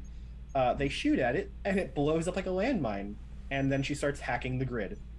Back to a Tron reference, uh, which is great. I Hack the love this planet! programmable matter. We hack the planet. Hack the planet. We cut So- back to. I'm- I'm sorry. Oh, go ahead. No, no, go ahead. I, I was just gonna say real quick. Th- this programmable programmable matter thing, probably one of my favorites. You need a phaser, just right there. Need a HUD to go, boom, right you know, there. I'm not sure if that's programmable matter or so the HUD. I'm pretty sure is not programmable. matter. I'm pretty sure the HUD is just holograms, but I'm not right sure from the that communicator. the right. I think that what they're doing is not with programmable matter. I think it's a transporter buffer. Really? So like Yeah. an inventory box, like mm-hmm. from Like in a video Resident game. Evil, you've got your Wait, okay. they have mm-hmm. the they have the quantum storage system that they used in Picard, where they just and you can be like, all right, I need my giant thing, and you open up the thing and it comes out, very much like your uh, Hermione bag or your Mary Poppins so bag. or if your you ever played Star Trek Elite Force, right? Yep. The, the video game, they work the same way. They had a transporter buffer that would store your whatever guns you had, uh, and th- then you just disappear into the transporter buffer, pull out a new one, and it just essentially materializes in your hands. Sort of how these do. I'm not sold that they're that they're programmable matter for one reason. People have different guns. Book's gun is clearly a Kwejian gun, but he's Yep. using a Starfleet badge to get it, whereas Burnham's is very much a Starfleet phaser. If they're using these as programmable matter from Starfleet things, I'd expect that they would only give you Starfleet guns. unless you have a range of aesthetic that you can program into your weapon. I don't know. Starfleet Plus- has standard issue. Well, I would think that you'd only go to get Starfleet weapons out of it. But I don't his know. is very when you, when you, when you get to the point where you Mm-hmm. can 3D print anything, patterns become the currency of of de jour. So that's that's where I was thinking about it. And I had this conversation offline a while ago about once you can have a replicator, you're just going to start trading in patterns. Yeah, I don't disagree with you there. We need to do a special episode on replicators at some point. All right. Pa- patterns are the are like the money the uh, thing. Yeah. Yeah, so our next scene is uh, Stamets trying to run uh, Ruon Tarka through his research and his findings, and Tarka's just like, "Yeah, I already read this. This is like one of those classes in college where the professor's literally just reading the slides on the on the PowerPoint. Nobody likes those classes. He's clearly already read the slides, so like, let's actually talk about it." And that's what he starts to do. It obviously annoys Stamets, and it clearly shows that Saru is annoyed by him too like Ruon Tarka is rubbing everyone the wrong way, but he does show insight with his analysis really quickly. Uh, so he gets mashed potatoes from the replicator uh, cold and like a pea to demonstrate what he's talking about. Did I see Uh, steam coming off those? The I- mashed potatoes If when you it did, was. they were cold. I I didn't see any steam. I was looking for it too. May, maybe it was. I could have swore. Maybe I- there's multiple variants of the episode out there. I, yeah, I don't know. I got the impression that Stamets is your exemplar of your theoretical physicist who needs the math to line up, hmm. and I can't remember the other guy's name. You've said it like five times. The, the other The- the- Ruon physicist. the- Tarka. Tarka. Just go Ruon. Tarka. Tarka. Tarka. All right, so Tarka, Tarka's your applied physicist. He's the one who's like, okay, okay, okay, math, whatever. Let me put this together and see what happens. Yes. Yeah. I can see that. I can see that for sure. I mean, so if you look at something like the the the Manhattan Project, they had both kinds of physicists on there. They had some whose entire job was just make sure that we don't ignite the atmosphere. Go do math. Like that was some people's job. Then there were the people who's like, okay, so these blocks, if we have enough of them, we'll go boom. Find out how little we need. Like change the shapes, arrange them in certain ways, add mirrors to things, and just go do it. Oh no, there's no math for this. We haven't invented it yet. Right. Mhm. So like they had both kinds, and that's usually how you solve problems, having both approaches at once. Yep. That being said, uh, the theoretical physicists that just did the math, nobody died in those groups. Of people who were just arranging uranium blocks together, there were several people who got radiation poisoning from drilling it. So, and some died in later experiments. So it's a very serious thing. There's, if you want to know more about this, look up the Demon core. Like it was an actual uranium core that, like multiple times, just killed people because they arranged things around it wrong. Jesus. Yeah, Wow. real scary stuff. Rip. Anyways, uh, so we've got the two types here, uh, and then Ruon's like, you know what? We can just sit around doing math, or we can try this thing I already invented before even coming to create a DMA. Uh, just give me power. So a- a mini DMA just right here in the ship. That is, so it's a simulated model, but it's actually a working I don't know to if it's scale simulating it. I think of- it's just right, not really. miniaturized. si- Right. I'm sorry, not simulated. It was miniaturized. So it's just as dangerous as the real size thing. It's just smaller. Yeah, and it's what did he say towards the end of the episode? It's like 0.32 times 10 to the negative nine times smaller than the actual. Oh, It- it- 17? yeah, some like made up freaking Yeah. Yeah. numbers. Yeah. Oh, not that's a real Well- number. It's just Well, really yeah, fucking I I mean, it's a really tiny number, but but the, it serves the greater purpose of uh, when we get there, saying this whole ship couldn't support it, and that thing is three light years across, and it's fine. And that's where they get the uh, the hypergiant hypothesis. Yeah. Anyways, so they agree that they're going to try it. Stamets is one that has to convince Saru because Saru is generally against the idea, and uh, they need to go find a bigger room. So we cut back to the prison. Uh, Book is shooting at the moving landmines, and uh, the hacking continues. And here's where they start firing those like spinning red discs that I mentioned that look a lot like the ones from Battleship, and they are cutting through rocks. Do, were, you, they Yeah. were, were they firing them or transforming into them? Because I got the They were firing shoop, poof kind of thing. Well, yeah, they came Yeah. up out of the back of the thing, but they, they came out and then shot. They didn't Ah. transform into them. I thought they were just like transforming it. Okay, that's cool. There's definitely something weird about them though too, because they definitely come up and then they expand and grow kind of weirdly, right? Like, I don't know, programmable matter magic. It's fine. hmm And then you know, just as they're running out of time, and you start seeing like the rock starting to glow in front of Burnham, meaning that the thing's about to come through, she turns them all off, and they all just kind of like plop over on their sides. So they march towards the prison, then they get inside the prison, and now we've got a great scene that shows exactly what we're working with here. It is six cells in a room, very small cells, like barely enough space for a bed and to stand. Yeah, So very limited. and cruel. Like Yeah, for sure. Like I'm really surprised that the people that we they show here have like the muscle mass that they have, and they haven't atrophied from just sitting in a six by six cell all day. Well, No just sit, privacy? Do, do push-ups. If there's enough room to stretch out and do your push-ups, you probably like jog a lot. I don't think Yeah. you'd have room for it, Big J, for sure. No, they couldn't put me in one of those. no. Jay'd be like, Need "I'm just like gonna the- push through this force field.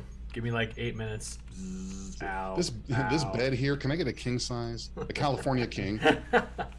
oh, So interesting thing, we get this round discussion with like the various prisoners.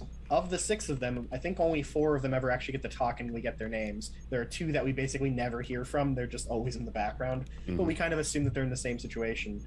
So Burnham tells them, "Hey, this uh, colony is in the path of gravitational anomaly. Y'all are fucked. Probably we need to get you off here."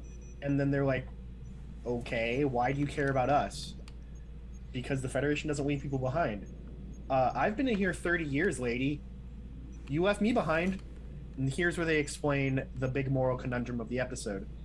These people were put in prison for life for petty crimes, like taking a joyride in a sand crawler or Stealing a banana. Stealing a banana, right? It's very Javert kind of hunting down somebody's for stealing a piece of bread. Uh, just uh, very petty, small crimes, and you get life sentences. So we're set up with this like the this isn't a Kali culture. This is Emerald Chain culture, and uh, it's pretty brutal. So Well, and it does a really good job of not just like showing the dichotomy between Starfleet and them, but also, you know, the the ethos between the two.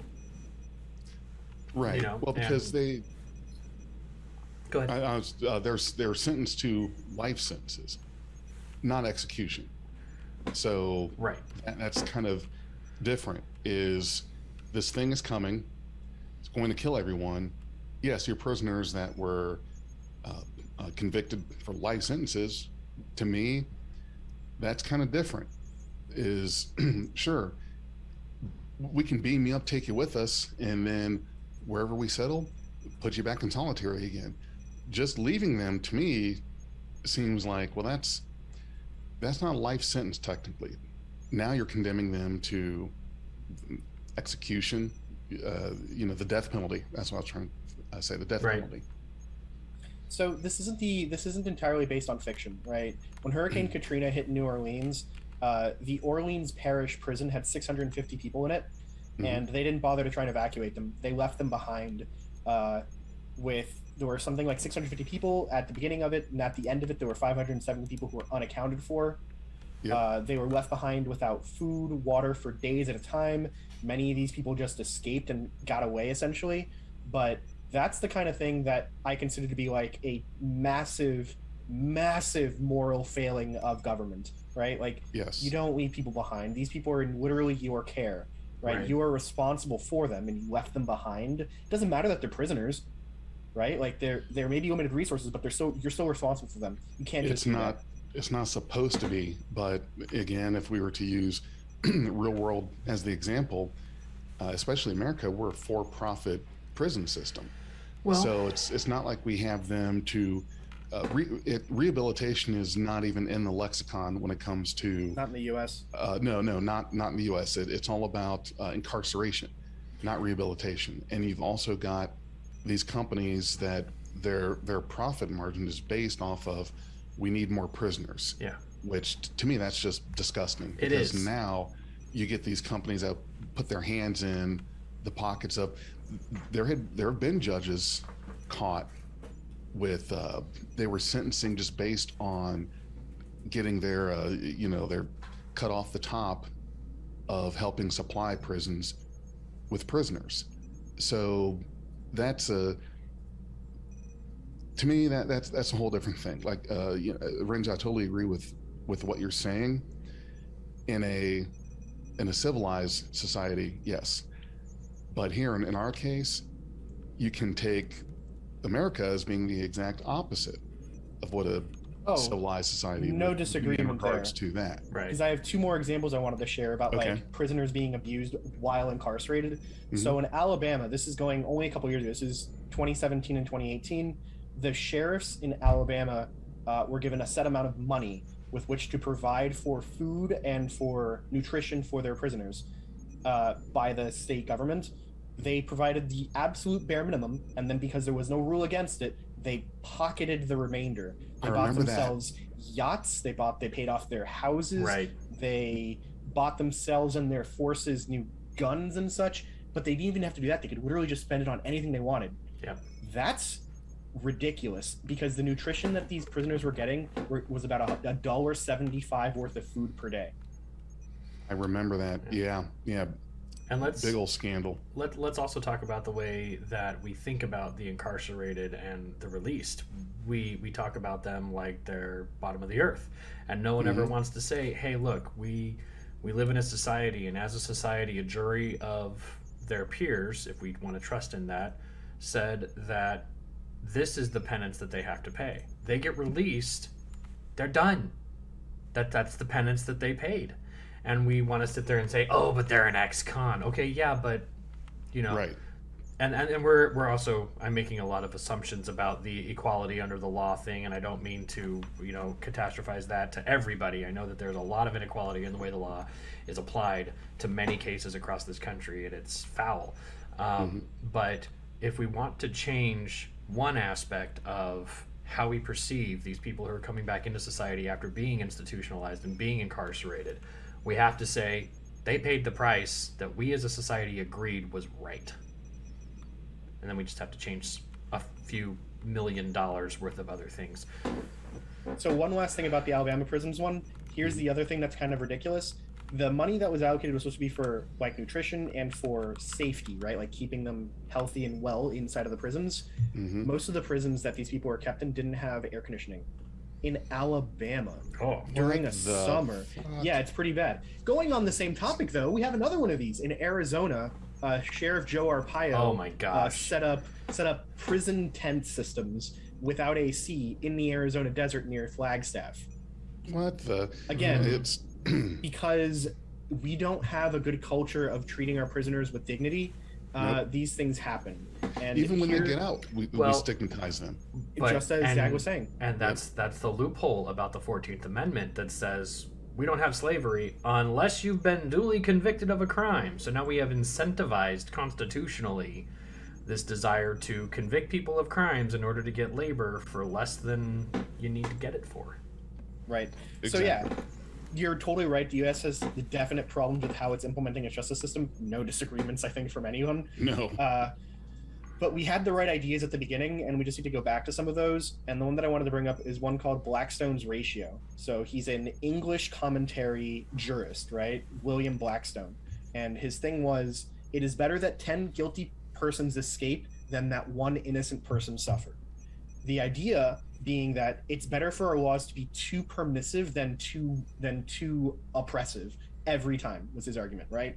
Yeah. And this was written in the 1760s, so it was before the U.S. Constitution was written in the 1780s.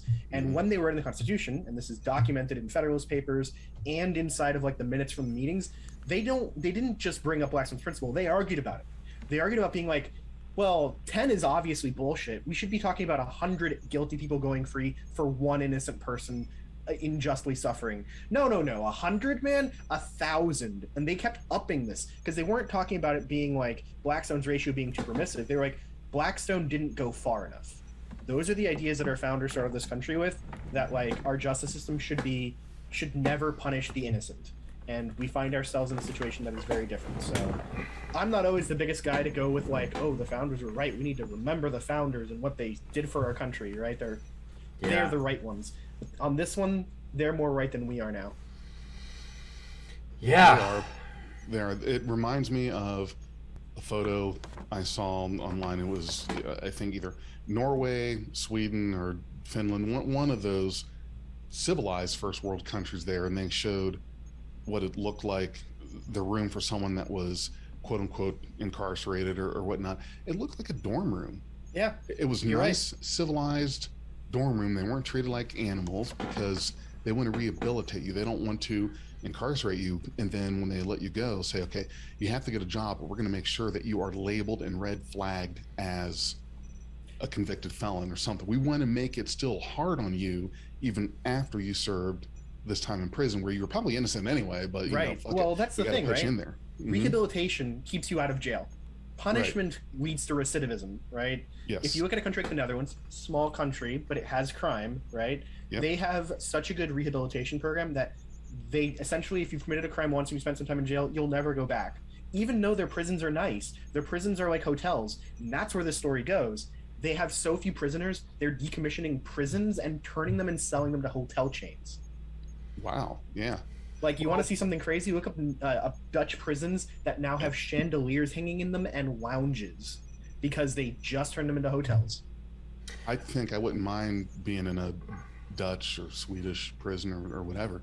I, But, I think yeah, I that- wouldn't mind doing an episode on like comparing and contrasting Justice systems. justice systems Yeah. between certain sci-fi franchises. We don't have to limit it to Star Trek and what we see in the world today. Yep. Yeah. All right, we're. Do we anything more we want to cover here, or just like? Okay, cool, cool. Sorry, a lot of that was just me ranting, so apologies. No, it's good stuff. It's good. That's what we're That's what we're okay. about. Well, beyond and s- this beyond and track. that. Yeah. Yeah, beyond No. track. And and you're going to be fired after the episode anyway. So Of course I am. All right, so the fun part here is that they have to figure out how to, how to get them out of these little prison cells, and they realize that the shields are being projected by a device inside of the room above them. They just gotta overheat it. So they both just sit there, set their phasers to heat, and just like, and just wait until it overheats. So, easy enough solution for them. Our next scene is Culber uh, having a meeting with Kovich uh, that he that uh, Culber requested and had to schedule ahead and uh, he's trying to get like Kovich to just like, hey, let's reschedule. I'm too busy today. And Kovich is having none of that. Kovich is like, I am a very busy man. I don't give 10 minutes to most people. I'm here. We're doing this now, which is, you know, I get it. We've all had those kinds of colleagues at work. So yes. I get it. If I blocked out the time for you, then god damn it, we're taking it. yeah, I mean, you'd have to literally be on fire for me to just give this back kind of thing. right. Yep. So here we have the discussion that I think Dag wants to talk a lot about because he, I think you were pretty moved by it um, because it's a very good discussion. Well, it really is. And um, one of the things that I really liked about it is, um, you know, as a, as a guy who used to be pretty toxic, who went to therapy and did the therapy group and had some people in that group who were a lot like Kovich, who were basically like, look, I'm just going to lay this on you. And the reason that they, they felt comfortable to lay it on me is first, when you're in a group like that, you're in a space where you recognize that people are going to say things that might be provocative and you need to think about them and not act on them. And number two, as you get to know each other's ways and moods, you start asking for permission to be like, "Hey, look, you're seeming a little resistant here. Can I be upfront with you? Can we can we enter this conversational space?" And even in my personal life with friends and family, I like to offer them, "Hey, there's a space for you to be frank if you need it." Um, and, and I don't want to be a reactionary person anymore, so I offer that space up front because for me, it's a weird coping skill but if i just give consent for someone to like tear me down it doesn't i don't take it as personally as if somebody would do the same exact thing the same exact way but i didn't assent to it for whatever reason. We can get dig into that later. But anyway yeah we uh, we find out that Culber's not okay and the whole time that he has been digging into other people's traumas he's been using it to mask his own stuff. He's falling apart Kovich is like, I've got 10 minutes to rewrite your psychology, so, you know, here we go. now we're Um, down to eight and a half. right. And and of course this is all hastened by the need for writers to make the point that even if we look like we're okay, even if we look like we can help everybody else, even if we look like we're strong enough to take care of this, sometimes we're falling apart on the inside. And Culber's big big tra- trauma right now is that he came back from the dead and he is desperately looking for a reason because if there is no reason then he is a spit in the face to everybody else who's lost somebody. And at this point on discovery a thousand years after all of their friends family and anybody they've ever heard of is dead everybody's lost somebody. And even even the people who are living after the post burn everybody knows somebody who died in the burn. Everybody does Everybody knows somebody who's descended from somebody who died in the burn. Literally everybody around Culber has lost somebody. Culber still has himself and Stamets. And we don't know a lot about Culber's ext- expanded family. He still has the people on the Discovery that he sort of become adopted as his family. Um, but he needed to take some time to figure him stuff out, his shit out. And Kovich, I think, thankfully the writers, did a masterful jo- job of not letting Culber hide from this anymore and getting in his face when Culber got resistant. But he's not the first person. He, he certainly was not the last person to metaphysically die or literally die or whatever die and come back. And especially just the episode prior. No, I think it was an episode or two prior. He just he, he knows that uh, uh, Picard. Uh, what happened to him? He died, and his Came essence, his mind golem. was was co- yeah put a copied into a golem, and so there's kind of this this immortality thing that has happened before. To me, him beating himself up on this like that kind of seems okay. It's not actually that bad. You weren't the first person that died and somehow came back to life in some means or another. And big surprise, look here through the uh, the history, you weren't the last one. This happened with Spock, happened with Picard. Uh, All of them had to deal Beta. with trauma when they came back, though. Like, remember, Picard essentially had ego death after he was assimilated. Then we had the family episode, which is one of the few times in TNG where they had like episode to episode continuity. And he went and just like relaxed and fought with his brother. They even wrestled, if I remember correctly, at one Yep. point. Right? Like, Yep. that's his trauma. He's definitely traumatized by it. And you can see it happen over and over again for Picard. Uh, every time the Borg come up, it's like clear. It's like he's still got PTSD from this. This is survivor's guilt for Culber, so I can see where he's having issues. well, I never, it's, to me, Spock never came off as traumatized from. He's a From his Vulcan. It's kind of different. Yeah, I mean, I, I knew someone was going to say that. Yeah, yeah. I mean, I, Well, I, I do think he had like, it. Remember how he had trouble like like remembering that? Call me Jim. We're friends. Call me Jim. Right. That whole thing is probably part of that too. Just like well, reacclimating to what he was. right. And his mom even says, you know, the retraining of your mind has been in the Vulcan way, so your friends are going to be a little unaccustomed to who you are now. And the Vulcan way is very rigid and, you know, how how do Vulcans handle trauma? Have we really seen, you know, T'Pol probably a little bit. So um, Tuvok had a little bit too. Yeah, They compartmentalize, right? they compartmentalize Mhm. stuff. Right, and they're it's very easy for them to compartmentalize because they're trained to compartmentalize their emotions. So they deal with their stuff in a very different way. Culber's a human. Culber is a 23rd century doctor who's now trying to take care of everything in the 32nd century. Um, there is there is something to be said, Jay, for you know general. This this kind of stuff happens all the time. You really shouldn't be surprised by this. But on the flip side, um, you know, taking it back to my own personal story, plenty of people have gone through what I've gone through, and they did end up like me. This is my story, and now we're looking at Culber's story. Right. Remember Right. though, Shaxs died and came back, and he was also traumatized. Remember how like whenever they tried to get a story out of him, it was just like the black peak and the mountaintop, and then the voice, and then it's like. And then you have to fight your father. thing. Right? Like it, clearly his is based on Bajoran mysticism, sure. Yeah. But point is, the whole process was really traumatic to the point where it basically broke Rutherford when he Yeah. heard it. right. So here we've got Culber who went through this crazy thing with the spore drive space and the JahSepp and then having to be re-brought back to our universe. Like definitely fucked in the head a bit. Yeah. Uh, and now he's having to help other people who've lost a lot. Uh, I think that he's a good counselor, but maybe he shouldn't be counselor if he's this. yeah. I mean, for God's sakes, even suppressed Kahless came back to life. He was Yeah, but cloned. Kahless wasn't the same Kahless. He was didn't have cloned. He didn't have the memories though, so it's not really the same person. Right. Um, yeah, no, there's there's definitely two ways to think about that. An audience, if you're listening to this, throw a comment up. Let us know on Twitter, Beyond Trek Pod. Um, what do you think about the way that Kovich and Culber handled uh, the sudden admission that Culber's not okay and hasn't been this whole season? Annie, are you okay? No. well, Annie was left on a lava planet without any arms, without any legs or an arm. So, a- Anniekin, anybody? No. Okay. I know. Yo. All that's- so back to the. You Uh, insensitive bastard. hey, I had, All right, the, so- I had the high ground. I took it.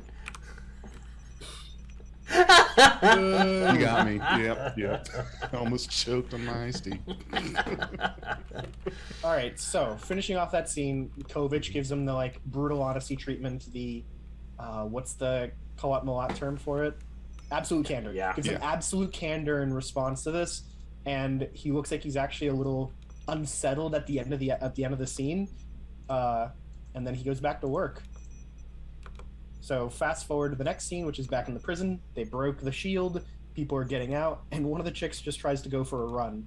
And Bruno's like, "Oh no, you don't!" And I will stun you. It won't kill you, but I will stun you. Uh, which is a great moment of are you no better than our captors? Are you no better than the people who ran this prison? It's a very Trek kind of moment too.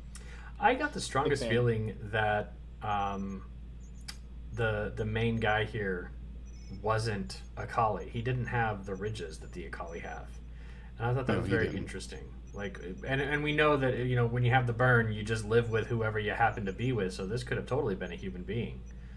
Um, I Somebody was named Felix, right? And that's a very human name. Right. So maybe he was the Felix. No, he was Felix because they called him that when he was on the other side of the force field later. Okay. Um, yeah, so this is definitely a human dude. Um, I got I got Native American vibes. I don't know if that's Yes, I did too. Um, but um, I think, I, yeah, I got that too, but I, I think that's just probably because I've been watching Yellowstone, and so I'm certainly like tweaked on the Native American vibe.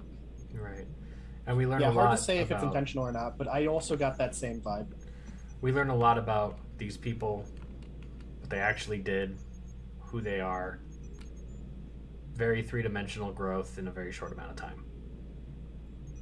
Yeah, that's true. We've learned a lot about these characters uh, in such a short amount of time, about as much as we know about like Bryce or Rhys or Owosekun. Or Nilsson. Ugh.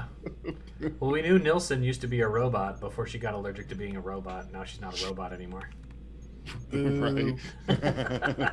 Ooh, get them off our podcast. All right, so cut to the next scene. I'm fired. Uh, af- sorry, no. Uh, hold on. One more thing about that scene. It's just where uh, they ask for a guarantee or something to make sure that they're not going to end up going back to where they were. And uh, Burnham's not a diplomat, but she goes, "This is for the diplomats to decide." And then cut the scene, so it's clear And- that there's going to be more there. If you're listening and you're like, but they're criminals, like, keep in mind, these people were imprisoned for things that were like today would just be like, hey, don't do that anymore offenses. Like, I don't remember off the top of my head anything specific, but Would they really? I mean, the way that I mean, so we learn from them that like he's like, well, I'm the only one who deserves to be in Shawshank. I mean, wait, in here, and uh, the rest of them, I I would like to believe that there was no unreliable narrator here. That the Emerald Chain really did try to set the, these make these people an example, and the cruelty exhibited by the magistrate at the beginning reflects the fact that you you cross the line in any which way. It's life. That's just the way we work. We don't want to take the time to figure anything else out. Don't get caught. If you get caught it's life. It took lessons from the Edo. Right and so yeah i mean i don't know if wesley crusher's in here but uh some No. other might have one- been one of the two guys we didn't see but um yeah the the the five out of six of these people were in for Petty crime crime. petty little Petty, tiny petty. things that would have been little fines or probation or uh, public service of some kind I think they looked up the American justice system as a model for this penal colony. So, fun one for you though. What about the Prime Directive not to interfere in the development of another culture? Right? They're clearly post warp. Fine, fine. I get that part. But their laws say this, right? That this is what they should do. This is how you behave. I think that the appeal to amnesty and like sanctuary makes sense, right? Which is what goes on in the next scene. But uh, shouldn't the Federation be more tolerant of the laws of other nations? Well, uh, uh, so here's my interpretation of the Prime Directive. and I'm going to go back to Mhm. Pen Pals. oh okay So in in Pen Pals, season two, TNG, Data was writing, corresponding with uh, sarjenka yeah yeah uh, species that was not warp Teamwork. capable. Yep. He should not have been doing the thing, put the captain in a very bad position. The way I interpret the Prime Directive is once you have developed warp, which warp uh, being able to uh, uh, to develop warp travel is that entry point as to now when you can make that contact Interact. yeah, Sure. interact. The way I take it is, uh, once you are a species that has developed warp, that then we don't go back and say, well, but the prime directive prevents us from rescuing you from this No, calamity that's coming. That's not even what I'm saying, though, right? Like, look at the Vissians in Cogenitor from Enterprise, which, Yes. granted, is before there was a formalized, a written down Right. Prime Directive, right? They Uh-huh. were definitely more capable. They were more advanced than than Starfleet. They were more advanced than the Vulcans, probably. Uh, and yet, both of them were like, we can't interfere with their culture. This is the way they do things. We have to respect their laws and their ways, even though it resulted in the suicide of the Cogenitor, right? I think the same kind of question should be talked about here. Like, when there are other episodes in Trek 2 where it's just like, listen, we don't agree with how you do things, but that's your way. We won't help you. We won't help assist your thing, but that's your mess, not ours. And then there are exceptions where captains are like gung ho and break their rules.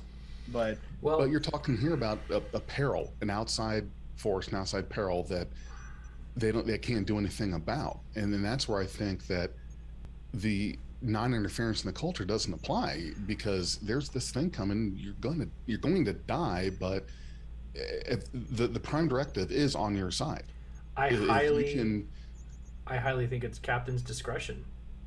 I mean, yes, sure. I agree. Picard Picard saved the Dremans by doing whatever being he did to stabilize that world. Um, In the the trilogy that opened DS9 season two, the Circle trilogy, yes, um, we learned that the Bajorans are dividing along Civil War lines on their own.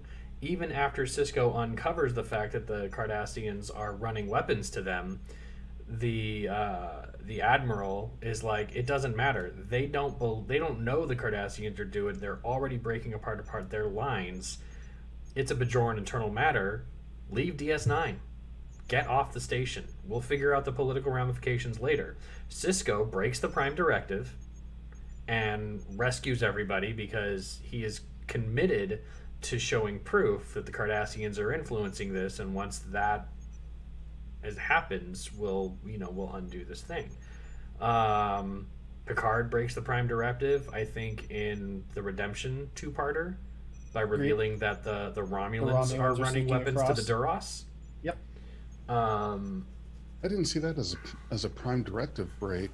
So the prime directive isn't just techno- isn't just the don't talk to pre-warped. It's also Right. just the non-interference principle, right. If like don't there's interfere with the affairs of other races, kind of thing. wasn't didn't something even happen on on Vulcan during a series where it was like an internal matter to Vulcan. They're our best ally. They already have warp tech, but it's an internal matter to Vulcan.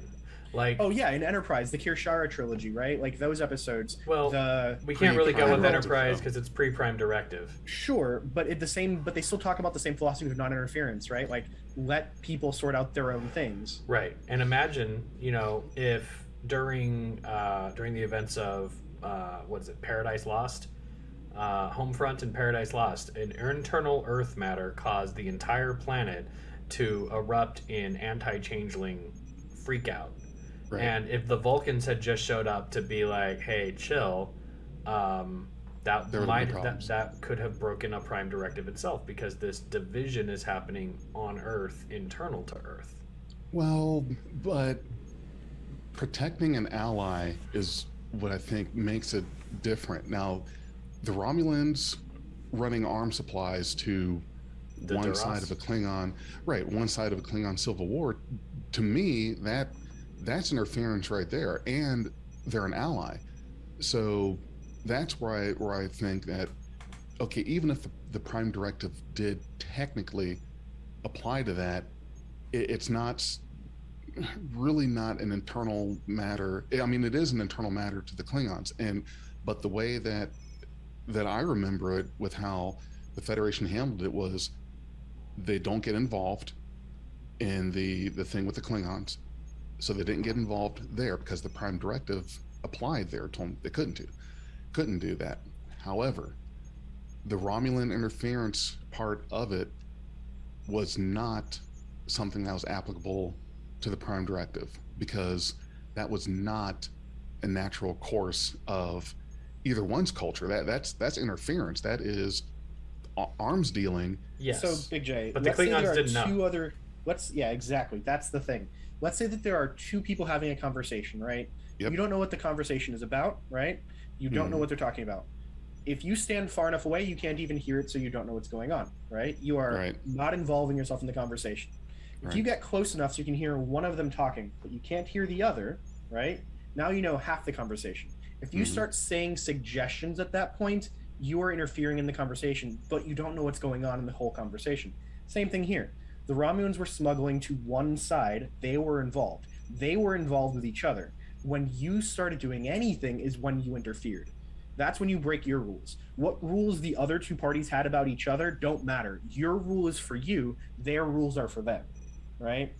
So, same kind of concept there. But I do need to push us forward because we are timing. Jesus, yeah, we do that. Sorry. Yep. Let's keep it going. we can divide this into two episodes. It'll be like a, uh, a functional two-parter. So our next scene is where they do the test, where they set up a model of the DMA. Uh, one fun thing I wanted to reference here, though, is that there's another Star Trek Online reference in this scene uh, where Ruon Tarka specifically mentions Risian uh, Caracals and how he'd seen them on Risa. Here's the thing they don't exist in canon, but they are fucking everywhere in Star Trek Online. They're like the giveaway pet that everybody gets a few of anytime you go to Risa. Have a Caracal, it's rainbow colored. Have this Caracal, it's got spots and moons on its face, kind of I've stuff. got one. Yeah, they're beautiful. That's like the shtick, but now they're canon because this dude mentioned it, but they've been in Star Trek Online for like 10 years now. So, yay! Uh, anyways, so besides that, here's where Ruon also talks about his whole I never understood the pleasure planet. I don't get Risa. Uh, surrounded by idiots. The place sucks. And then there's the Galileo joke, which was pretty interesting. And then they start the test. And it succeeds at ah. creating a really small DMA anomaly. And then it runs out of juice. More things I don't like about this scene. Go on. The lensing around the anomaly is what you would expect for something that was 3 AU in diameter. The lensing that you see here isn't even warping the background behind what they're looking at. Like, ah, The gravity. containment field keeps it from doing it. Okay. no, that's not how light works. That's not how The the force field keeps works. The containment field keeps it from doing things outside. No, I don't know. no. You're right. I think that's probably just an effects goof. I, I think it really is just them being like, "Hey, audience, this is the same thing. Okay, let's let's speak in a little more metaphor here and give them a pass on this." Again, if you've stuck with me through this episode, you know I have a beef with how Star Trek handles gravity. Uh, we, we've got a beef with a lot of things that Star Trek handles. I get it. I, I do. But Now I'm hungry. Thanks, Jay. Oh, well, I'm you- waiting for after this for food. I'm so excited. oh, well, then we got to pick up the pace so you guys can. No, no, eat. no. Don't. No, no, no. Pace, Nothing like that. New York City. So, Dag, go. Just, just so the here. test runs out of juice, and Ruon Tarka starts pressuring Jet to be like, "Give me more." No, I can take it. Give me more.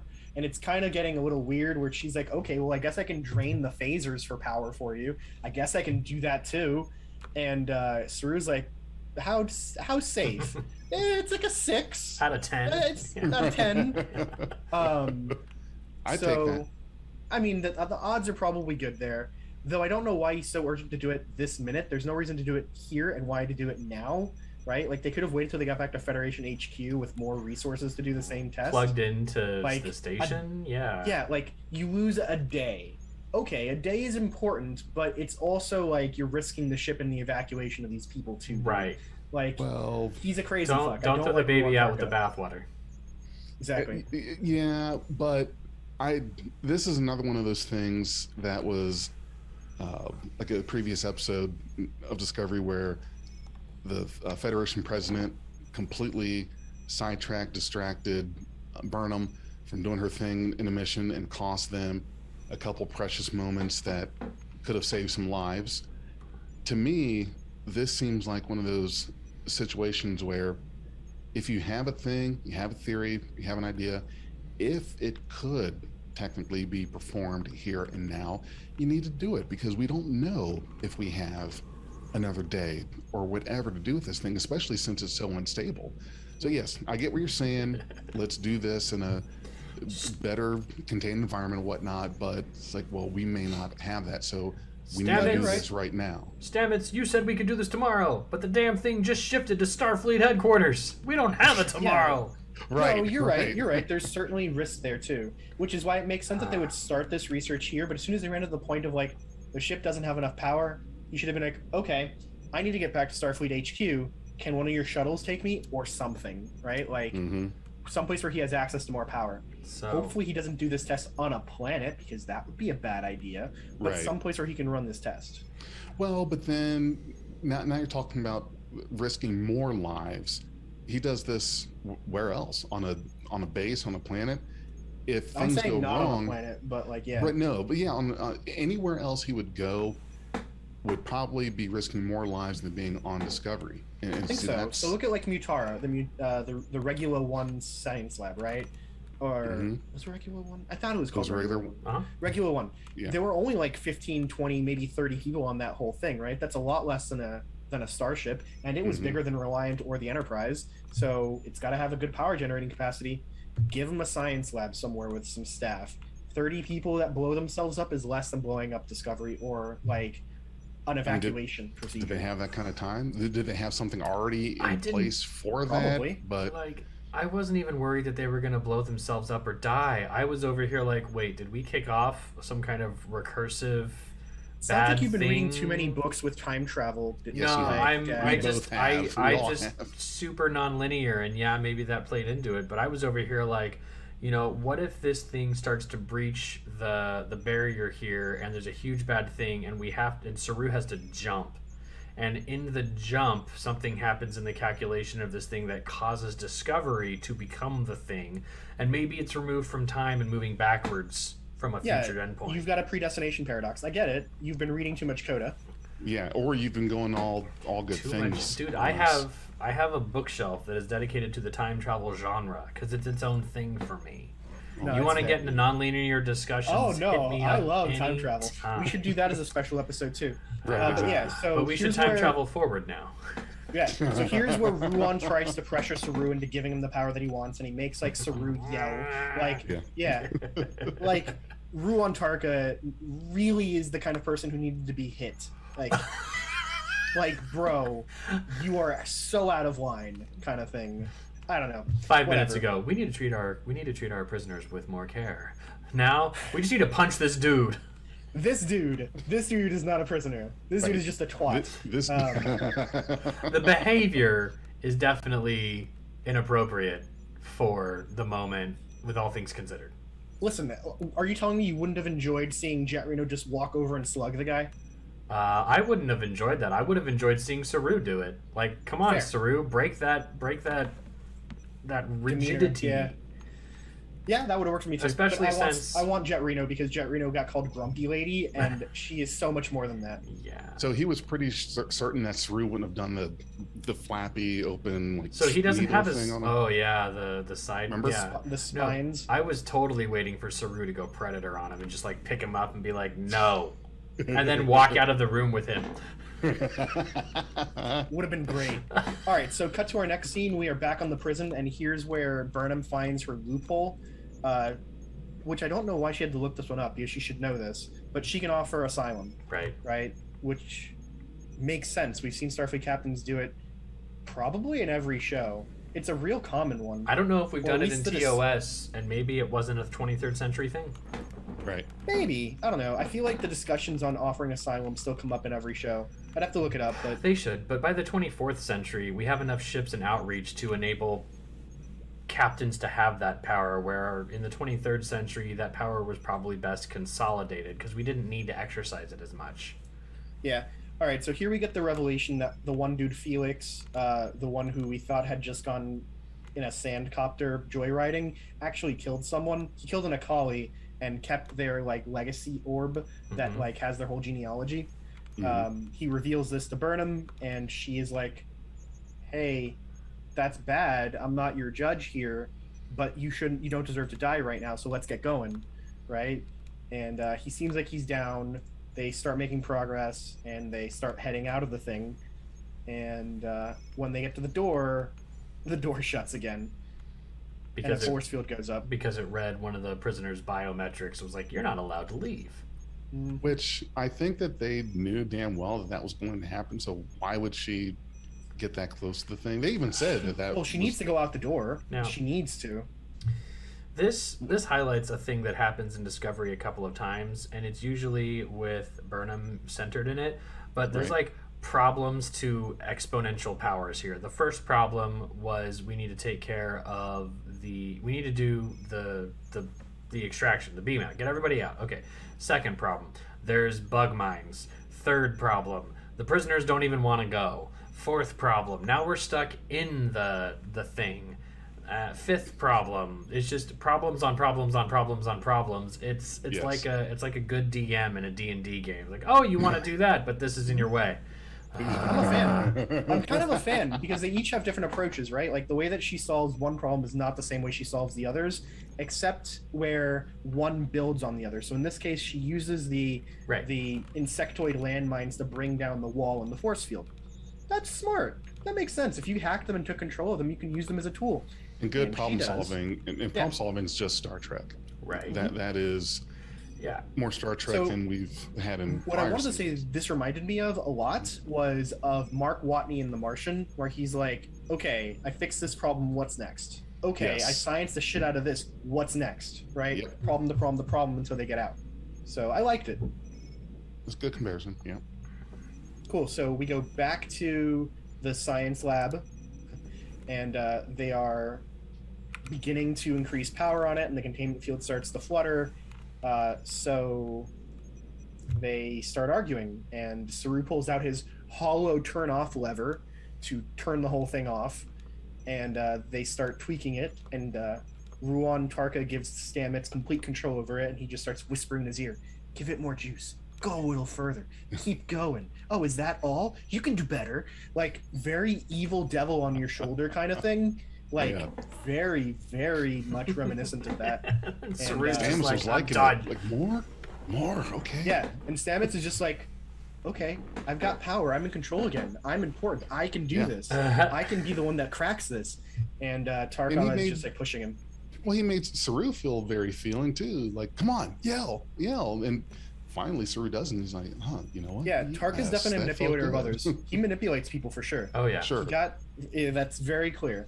Well, Um, he's a he's a mid thirty to forty something year old man who's lived in a burn world his whole life to get what he needed to do to do what he needed to do to be where he is. He probably had to manipulate a lot of people, and by bringing them close and being like, "Look, I'm going to give you the illusion that you have all the power and control here. It's going to be great, but I'm actually just going to get what I want. Take that away and leave." I, I Um, can. Oh, so sorry, Dag. No, I just that's that's how I explain his his motives and his ability to do these things because hmm yeah, I mean that's that's how manipulation works. You trick other people into doing things that benefit you and think that they have some kind of power over it. so Well, they get haven't you guys ever done something like with that with- Zora. With work, Well, Sure. Getting somebody to think that something was their idea so that we do the thing I wanted them to do in the first place. That's an everyday thing. no, no, I meant doing something crazy to solve an issue, and it works, but your colleagues think, "What possessed you to do that?" Yeah, it worked, but you're you're crazy. Yeah, no, this this is an all the time thing for me. Like here's a good example of it, right? This is Yeah. from two weekends ago. This was a Mhm. Saturday case that I had to work with a big customer that was having a huge problem. Okay. They had a site, a a data center worth of of software that was running very slow and they couldn't figure it out why. It was causing all of their deployments to crash and burn essentially, Yes. right? Uh, we'd gone through the logs and nothing looked particularly wrong. Everything just looked fine. The statistics from the servers themselves even looked good. Um, there was nothing indicating a problem. Just everything was stupid slow for no good reason. Uh, and I asked them, okay, so what's been going on on these sites? Like, is there some maintenance going on? And one guy goes, oh, I did find a write up about how like they're doing power maintenance, but that's not going to affect this. If they're doing power maintenance, the server will turn off. It won't go slow. And I was like, actually, uh, there are various Blade servers, and I know Dell ones in particular do this. But if you take one of their two power plugs and unplug it, the box doesn't turn off. It downclocks its CPU and memory and keeps running, and it doesn't tell you anything until it gets full power again when it reveals Yes. that I'm back to normal now. And that turned out to be exactly the cause. And I just guessed it because I'd worked on something similar to that like 8 or nine Mhm. years ago uh, and guessed it and won. Took them another six hours to confirm that that was the cause, six more hours after that to fix it. But uh, it was like complete lucky guess that I got it. And I got a great kudos email from that customer because of it. whenever you're having an issue with something, even if you know for sure it's not a layer one issue, it's a layer one issue. It's going to be is. it's going to be the cable. It's going to be the cabling. But no, yeah, I, I had the same experience. Like, okay, the the server's not coming up. Let's just go ahead and hold in the power button until, until it turns off. Big J, isn't that like dangerous? You don't want to do that, right? But that's what we need to do. Do it. restarting things is step one, right? Like that's Yeah. that's where you should start. All right. So the neat thing in this scene is that Zora is tasked to provide like real time updates on the status of the on the field, uh, and they do, uh, which is neat. And we get some cool like countdown moments as the thing is getting really close to five percent when Saru shuts it down. Uh, but uh, uh, Ruon is just pissed. Like, come on, we're almost done. The Mhm. containment field was at five percent, bro. He gave you to the last second, and we get this fantastic line from Jet Reno about of all the times you've almost destroyed this, uh, this is the closest, and that's really saying something. and she's talking to the writers, right? Probably a little. that, that was a meta comment. A comment. little bit of yeah. Deadpool. No, Cut but back it- to the prison. Yep. And everybody's running out the, the field. They're all getting outside. Uh, Burnham calls Discovery, goes, Hey, five to beam up. There goes five of the prisoners. And then it's just Book, Burnham, and the last guy. And What happened to being refusing- able to do 40 people in one cycle? They probably are, but this was this is just Why'd they the have five. Be probably because she knew that he wanted to stay inside and talk. Like like it was pretty clear he wasn't walking outside. He was, to? he Now was they standing have inside time to the shield. Talk. I don't Well- get this show sometimes. I mean, the, there's. Do you think? What do you think they're gonna do? Beam him through the force field that blocks beaming? Come on, you got to talk him out. which is weird because the audience is looking at the force field and it's basically a fence. Yeah, it doesn't go up very high at all. Yeah, like why is that blocking? I don't know. F it. We've Yeah. already given the show so much license. Let's dig it. Yeah. Yeah, maybe it's not actually the fence that is the sh- the the barrier. Maybe it's just the indicator of the the edge of the thing. Okay, yeah, that that's fine. And that's why everybody can walk through it just fine. Yeah, because it's not actually like blocking you. It's just like this is the perimeter of the prison. Don't go inside here. Right. It's not a wall. It just indicates. But yeah, Are you talking Anyways. about like the the Rura Penthe uh, beaming no, shield? I mean like a fence, right? Like a post fence along a property. You can walk in between the posts or step over them. They don't actually block you, but they tell you what the property line is. Well, right. Well, but with in my example, it was, hey, feel free to break out. Go ahead, go for a walk, but you're gonna die before you can get out of the, Yeah, the area of the Rura Penthe. beaming shield because of the, uh, the the cold and ice and everything else. Right. So that's maybe kind of how I took it is, if you get outside of the the range of the shield, there'll be monsters on the other end. Feel free. Good luck. But anyway. Okay, yeah, but so in this scene we get this discussion about how like dude is like, excuse me, where the dude is like, you know what, I committed a crime, I'm a criminal, I deserve to be here, I'm gonna stay. Maybe I die, maybe I don't, but it's my choice. I'm making this choice. I have agency, and I'm choosing to stay here as my penance. Uh, Book is not really accepting of that logic. He's like, we've got to save everyone. I couldn't save anyone from my world, so I've got to save everyone from yours. Essentially, is his logic behind it. But Burnham, conversely, is very accepting, which is very un-Burnham, um, generally, as President Rillak observed during the first episode of the season. Burnham is obsessed with saving everyone. Having one left behind like this, even if it was by choice, I don't. It seems uncharacteristic of her to let that go, unless she's gone through some actual personal growth, which is certainly possible. Yes. Yeah. I won't expand on that too much because Hmm. we've almost spent two hours talking about a 50 minute episode, which is beyond Trek style. Don't know how we Yeah, we always- We always make everybody's Monday's commute amazing. Hey, True, well, we're almost done. yeah. We've we don't. There's not too much left that's Okay. meaty in the episode. So if you Right. want to comment on this, this is a good one. Uh, I I think that for Burnham, her um, her way out of out of this, which is not quite so much of a character departure, is that, like you said, it was the guy's choice.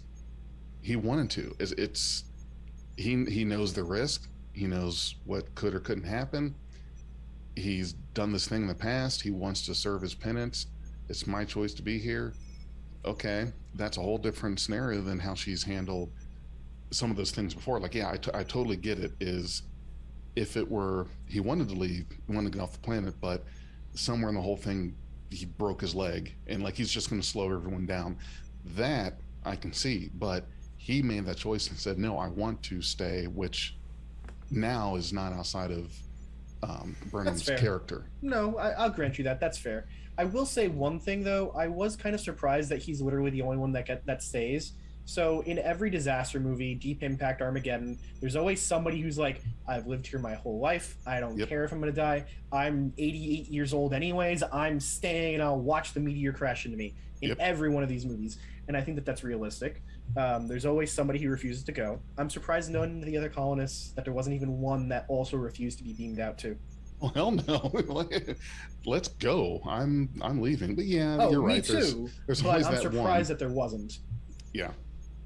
All right, cool. So next scene is the two of them leaving, and Book is pissed on the bridge that like we didn't save everyone. We did almost everyone, and that's not good enough for him. But he storms off the bridge. Cool, whatever. And uh, Burnham congratulates everyone on good work. They got over a thousand people off, and uh, they confirm at that moment that the asteroid belt will be within the impact zone of whatever the DMA is doing. And then she hails uh, Felix. the guy that was left behind at the pri- prison, Felix. And Yeah. he gave his goodbye speech. He, or he gave a very heartfelt little bit speech that demonstrated he has thought about really hard about what he did, and uh, Oh, uh, notable thing. Before Burnham beamed out, he also uh, Felix also gave her the, all the the thing. Akaali genealogy device orb. that tracks genealogy. So, hmm and the name is revealed in this scene, so that it's somebody to look for for him. And here we get to the, my background on this image here, uh, which is the great scene where we see the energy blast or the waves of gravitons or whatever from the DMA actually affect the asteroid colony, and we see what it does. It doesn't shred it, it doesn't destroy it the same way we saw with Kwejian. It just kind of shoves it. It doesn't even shove it very hard. It doesn't have to, but it shoves it and it uh just falls into the sun and breaks up. Well, that was the same thing that happened with Kwejian. The moon was pushed into it. Oh well, there was more than just that. Like it actually broke up the moon too, Yeah. right? But it also destroyed the planet. Like it was. Well, because It the force rough. of whatever hit it broke up the moon. So yeah, naturally all those.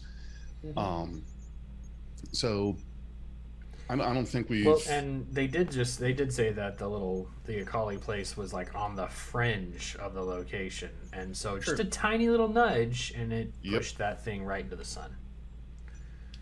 Yeah, are we at and there's a spot yet where I really. Oh, I was just gonna say about that the effects for seeing the asteroids falling into the sun and heating up, Uh-huh. really good effect, really well done. Well, sure as hell didn't have far to go before it started heating up. Mm-mm. All right, uh, go ahead. You wanted to bring up something? Uh, okay. Well, I want to. I want to make sure we've gotten to the part where we discuss their uh, the findings from that simulation in regards to the power source. I, I, I think that's like right the at the end. findings are the, the bar scene with him and Book. Yeah, that's up in a minute. The Okay. first thing that we do next, though, is the Akaali magistrate comes up and bitches at uh, Burnham about how, like, how can we be expected to stay there with these prisoners? Those prisoners can't be kept with us. Put them in your brig. I demand it.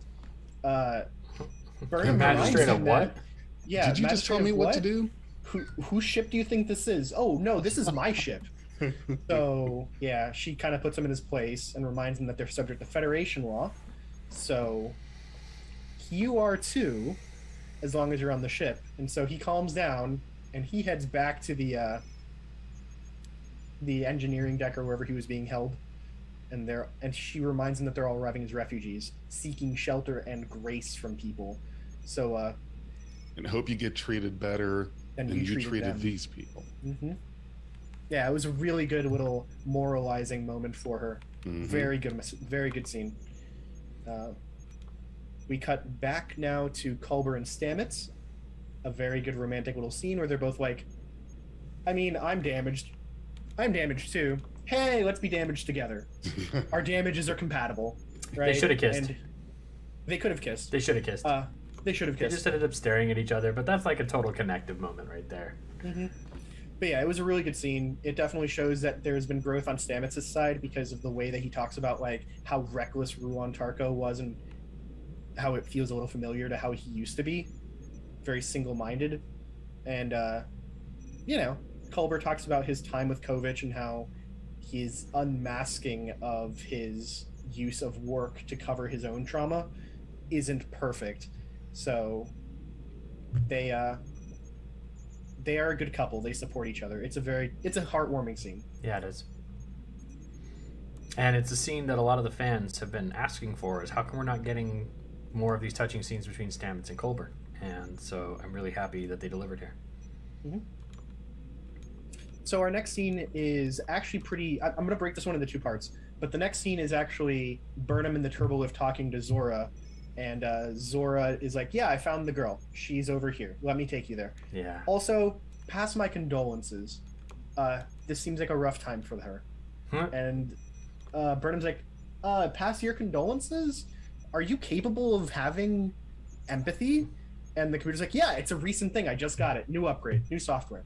Right? And uh, it's a very interesting back and forth. New software. No, I, I, I took it to be more like, more like diagnostic, like con- running diagnostics on the existing framework over time and building in all this new data. Suddenly, these Yeah. Oh, this, yeah, this no, manifests. Okay. Yeah, okay. yeah, yeah. No, Sorry. I was making a joke about new software. It, yeah, it's definitely an emergent uh-huh. property of the Right. AI that's there. And and it's not like emergent properties in artificial intelligences are rare in Star Trek. We we had a whole episode called Emergence where the Enterprise gave birth to a baby pipe bomb or something. I don't know what that was. But Well, that's the question here, right? Is Zora an emergent intelligence or an artificial intelligence, right?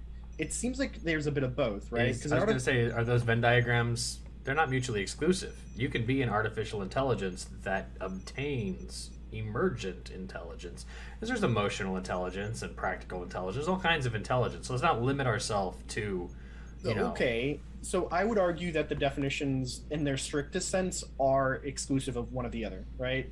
An emergent intelligence would be a piece of software that becomes sentient without ever being intended to become sentient, right? Written by people was never meant to be. It just develops into that state, right? Whereas an artificial intelligence is something that is created with the parameters to be sentient, right? One is created to be that way, the other one just becomes that way. Well, I you mean, know where I we we we run you know when you want to teach an ai how to play like um, super mario brothers you you teach it the basic controls forward back jump and then a victory condition and then it just has to obtain the victory condition it doesn't know anything about the world and you can watch this computer run mario into that goomba 8000 times before it figures out that jumping avoids the goomba then it goes into the first pit 8000 times so the the um, the intelligence that emerges there is functional. How do I get through a certain space? But let's say we ran that scenario for a thousand years. Just one little little computer with the direction to do these things with as much hard drive space as it needed to restore every attempt and opportunity that it did. After a thousand years, is that computer going to start having some kind of empathy reaction? I don't think so. Like I, I don't see that, right? So I think Tron Legacy, I think, does a really good job of showing us the difference, the movie, uh, of the difference between the two, right? So the programs that were created by the users, those are all AIs, right? Yes. They show some level of hard artificial intelligence and sentience. Cool. The ones that came out of the data desert or whatever, whose name now escapes me, the people who are like Quorra or whatever, Right. Yeah. they are emergent intelligences. They were not Yes. designed The that. ISOs. Yes. the ISOs, yes, the isomorphs. That's what it was. Yes, they are emergent intelligences. They're not constrained by the same parameters that were written to design the AIs. So the difference would be if you created a software whose purpose was to solve Mario, and it somehow did become self-aware and sentient, that would be an AI, right? Whereas if you had a piece of software whose purpose was Bank nothing, transactions. yeah, Mhm. or bank transactions, right? Something that's not actually intended to do like solve something Right. that becomes self-aware and, and sentient. That would be an emergent intelligence. You go to like deposit money into your mafia account, and the bank's like, "No, you're a bad man. Go away." And you're like, "Wait, what?" yeah, I'm just not sure which one Zora is. I think I'm leaning on the side of being an emergent because most of that came from the red ball or whatever it was, the red star, or whatever the, the, the thing sphere was. data. Red sphere, that's what it was. You know, Yeah. I, I, I still think there's a case to say that she could have gone through the phases of both. Could have been something that was supposed to Mhm. be an AI, but then amassed this vast database, um, and whatever processor it has to examine that database and whatever knowledge it's picking up now with the new technology it has available to it, has expanded its ability to be an AI from or be an emergent AI. Like like think of uh, Voyager six, V'ger, and whatever the hell it became after it merged with Decker. That Mhm. was definitely an AI though, because it had this specific command: learn all that is learnable, Sure. and then return home. Well, Yeah. and that was a command that was input by whoever reprogrammed it, because V'ger itself was not an intelligent anything. It was just record the stuff.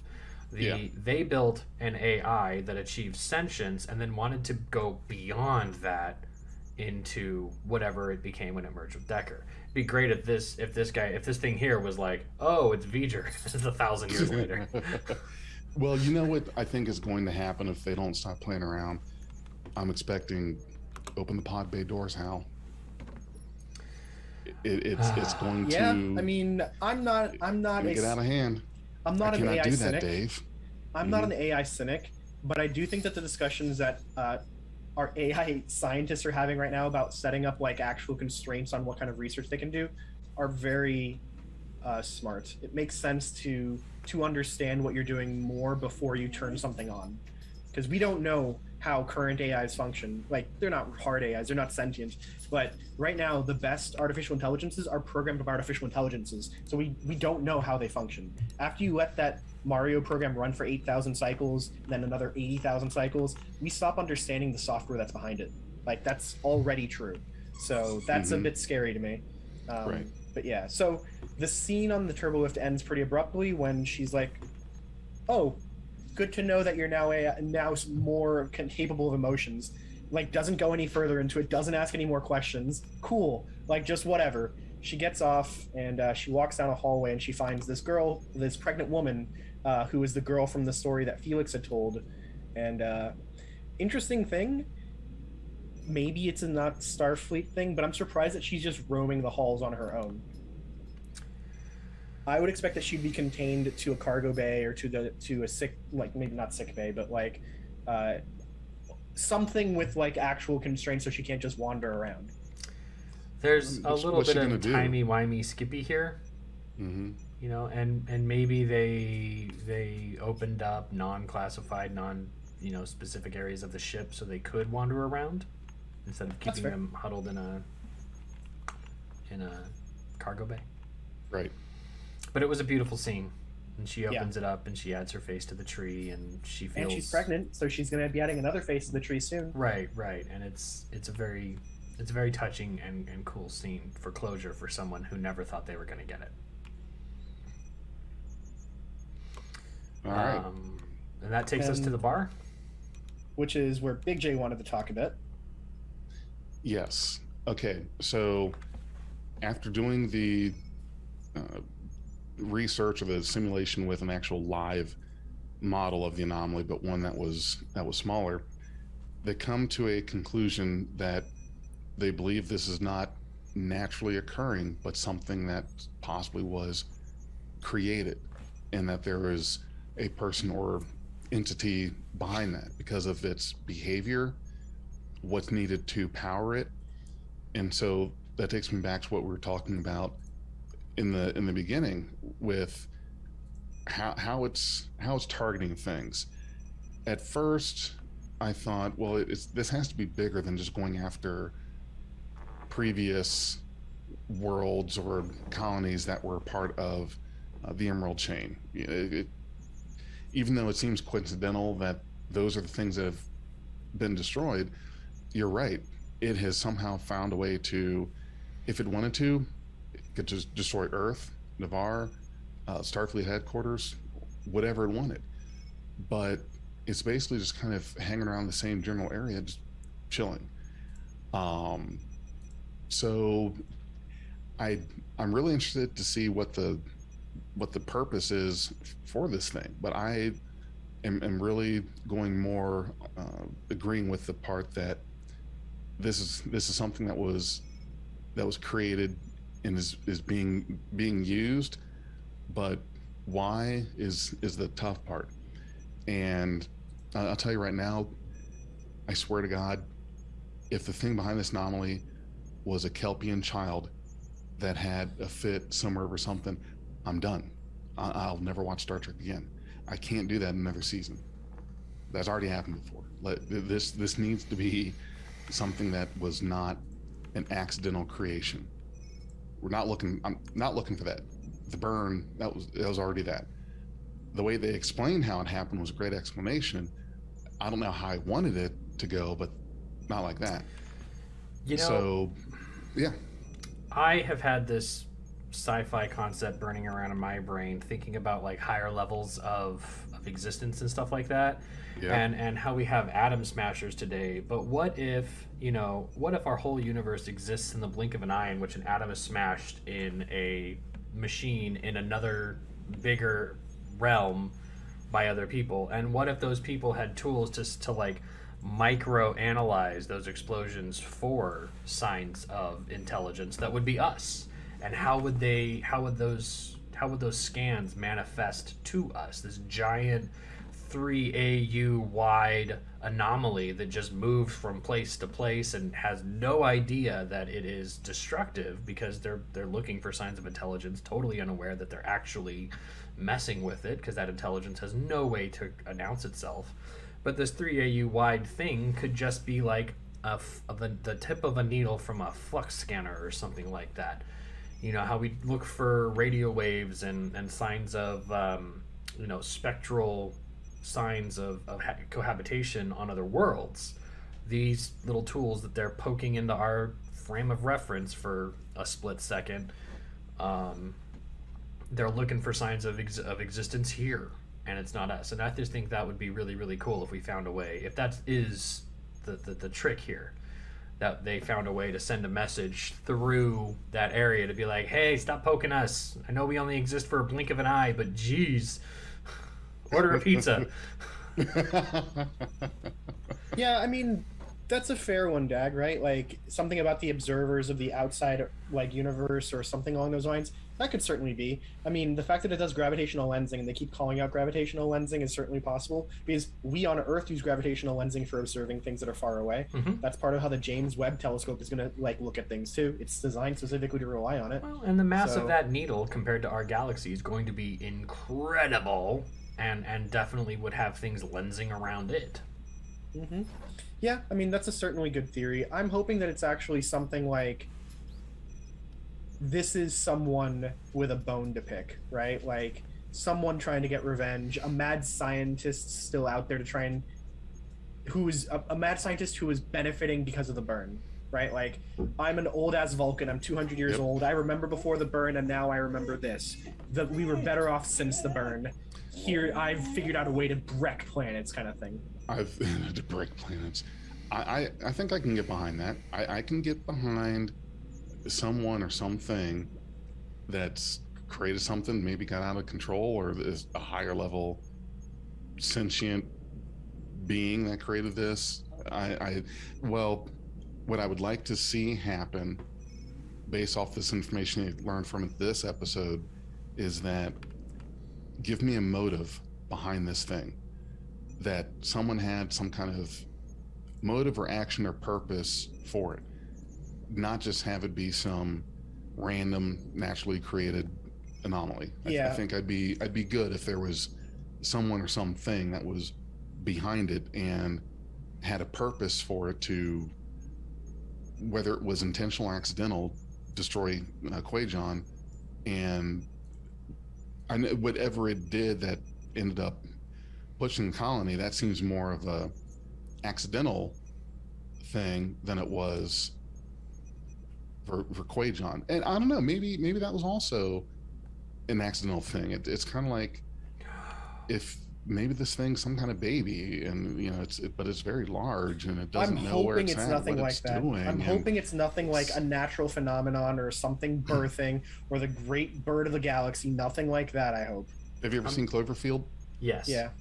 I'm That's that's what I'm thinking is something like Cloverfield. That Please thing keep was, Jar Jar Abrams away from this sort of thing. I'm I'm gonna be incredibly sorry for postulating this though, but since this whole arc, since the whole story seems to be about uh, Book's recovery from having to deal with all this, what if he has to use his magic druid powers on whatever this is to communicate with it? it's a bit of a stretch, but what? Are you telling me that you didn't get enough out of Zero trying to talk to the murder planet? Nope. It just wants to eat us. From Prodigy, come on, that was really I good. know. Yeah, you're right. But- yeah, But again, this this show isn't for kids. This show isn't the the, the meta metaphor that Lower Decks is. This show's about connection endurance, Right. and healing. And I think it's totally plausible that whatever is inside or on the other side of this anomaly, Book's druid powers are going to come to play here. I think I think I'm going to do this. I'm going to do a Big J prediction. It is uh, today, December 16th, 2021, 11:50 p.m. Eastern Central Time, Eastern Standard Time. My prediction is this thing is going to end up being essentially a newborn, some kind of newborn, some kind of baby, some some kind of a, a giant in a cardboard house sort of thing the stuff that's happening, the way it's reacting and moving is because it's scared, it's frightened, i- it's this environment that it's in is is like well, just go watch Cloverfield. I mean, for anyone who can just that's that's what it is. I, I can't think of any better way to describe it than All right, everybody. that, because that that thing was every a lot of people have said that the way that that was acting, reacting, whatnot is it's because it was a it was a baby, it was a child, even though it was big as shit. Well, So what the- what Jay is proposing is a fusion of Star Trek versus Kaiju. So prepare for Pacific Rim 3 Galactic Rim. I'm more interested in that than I am in the idea of this being like uh, an observer effect thing. I'd rather the kaiju battle than that. I don't know. I, I'm so that's one. Renzo's prediction. I'm you the gotta one- give no, the no. di- give, give the time. No, no, no. My prediction is honestly some sort of mad scientist trying to get even or trying to preserve like the chaos of the burn. That's my guess. Hmm. I hope it's that. You know what we need? We need a a predictions pot. Like just yeah, everyone really puts should. five really bucks should. into a into what we call the predictions pot, and if any of us, if we're like all wrong, we just keep building it for But other other shows and predictions. Tell us what you guys think is actually Right. the cause of this thing, right? Like this Yeah. is a good time. We've now heard enough that we can come up with some pretty good theories as to what's doing it. I'm actually not even ruling out that Ruon Tarka is somehow behind it too. I'm not ruling that out at this point. I think it's a mad scientist sort of thing. But tell us what you guys think and write it to us in the comments or respond to us on Twitter. Let us know.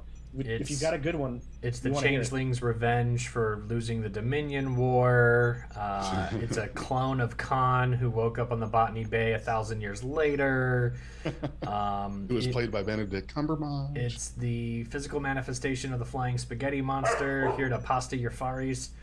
Um, yeah, I, I, I, I, I'm still leaning into book is going to be a part of this, and through it, he's gonna find healing. Like I don't know if Yeah. this thing absorbed the life forces of, you know, his family and everybody on Kwejian or not. I don't, I don't think that would be a great ending for him because it would be just like, um, what's his name, um, Culber living is to spit in the face for everybody else who lost somebody. Bringing back everybody on Kwejian to give it back to Book would be a spit in the face to the tri- the trial and the struggle that he's endured. Ooh, ooh. What if it ends up going like how Data has all the memories of the people from the planet he was birthed on?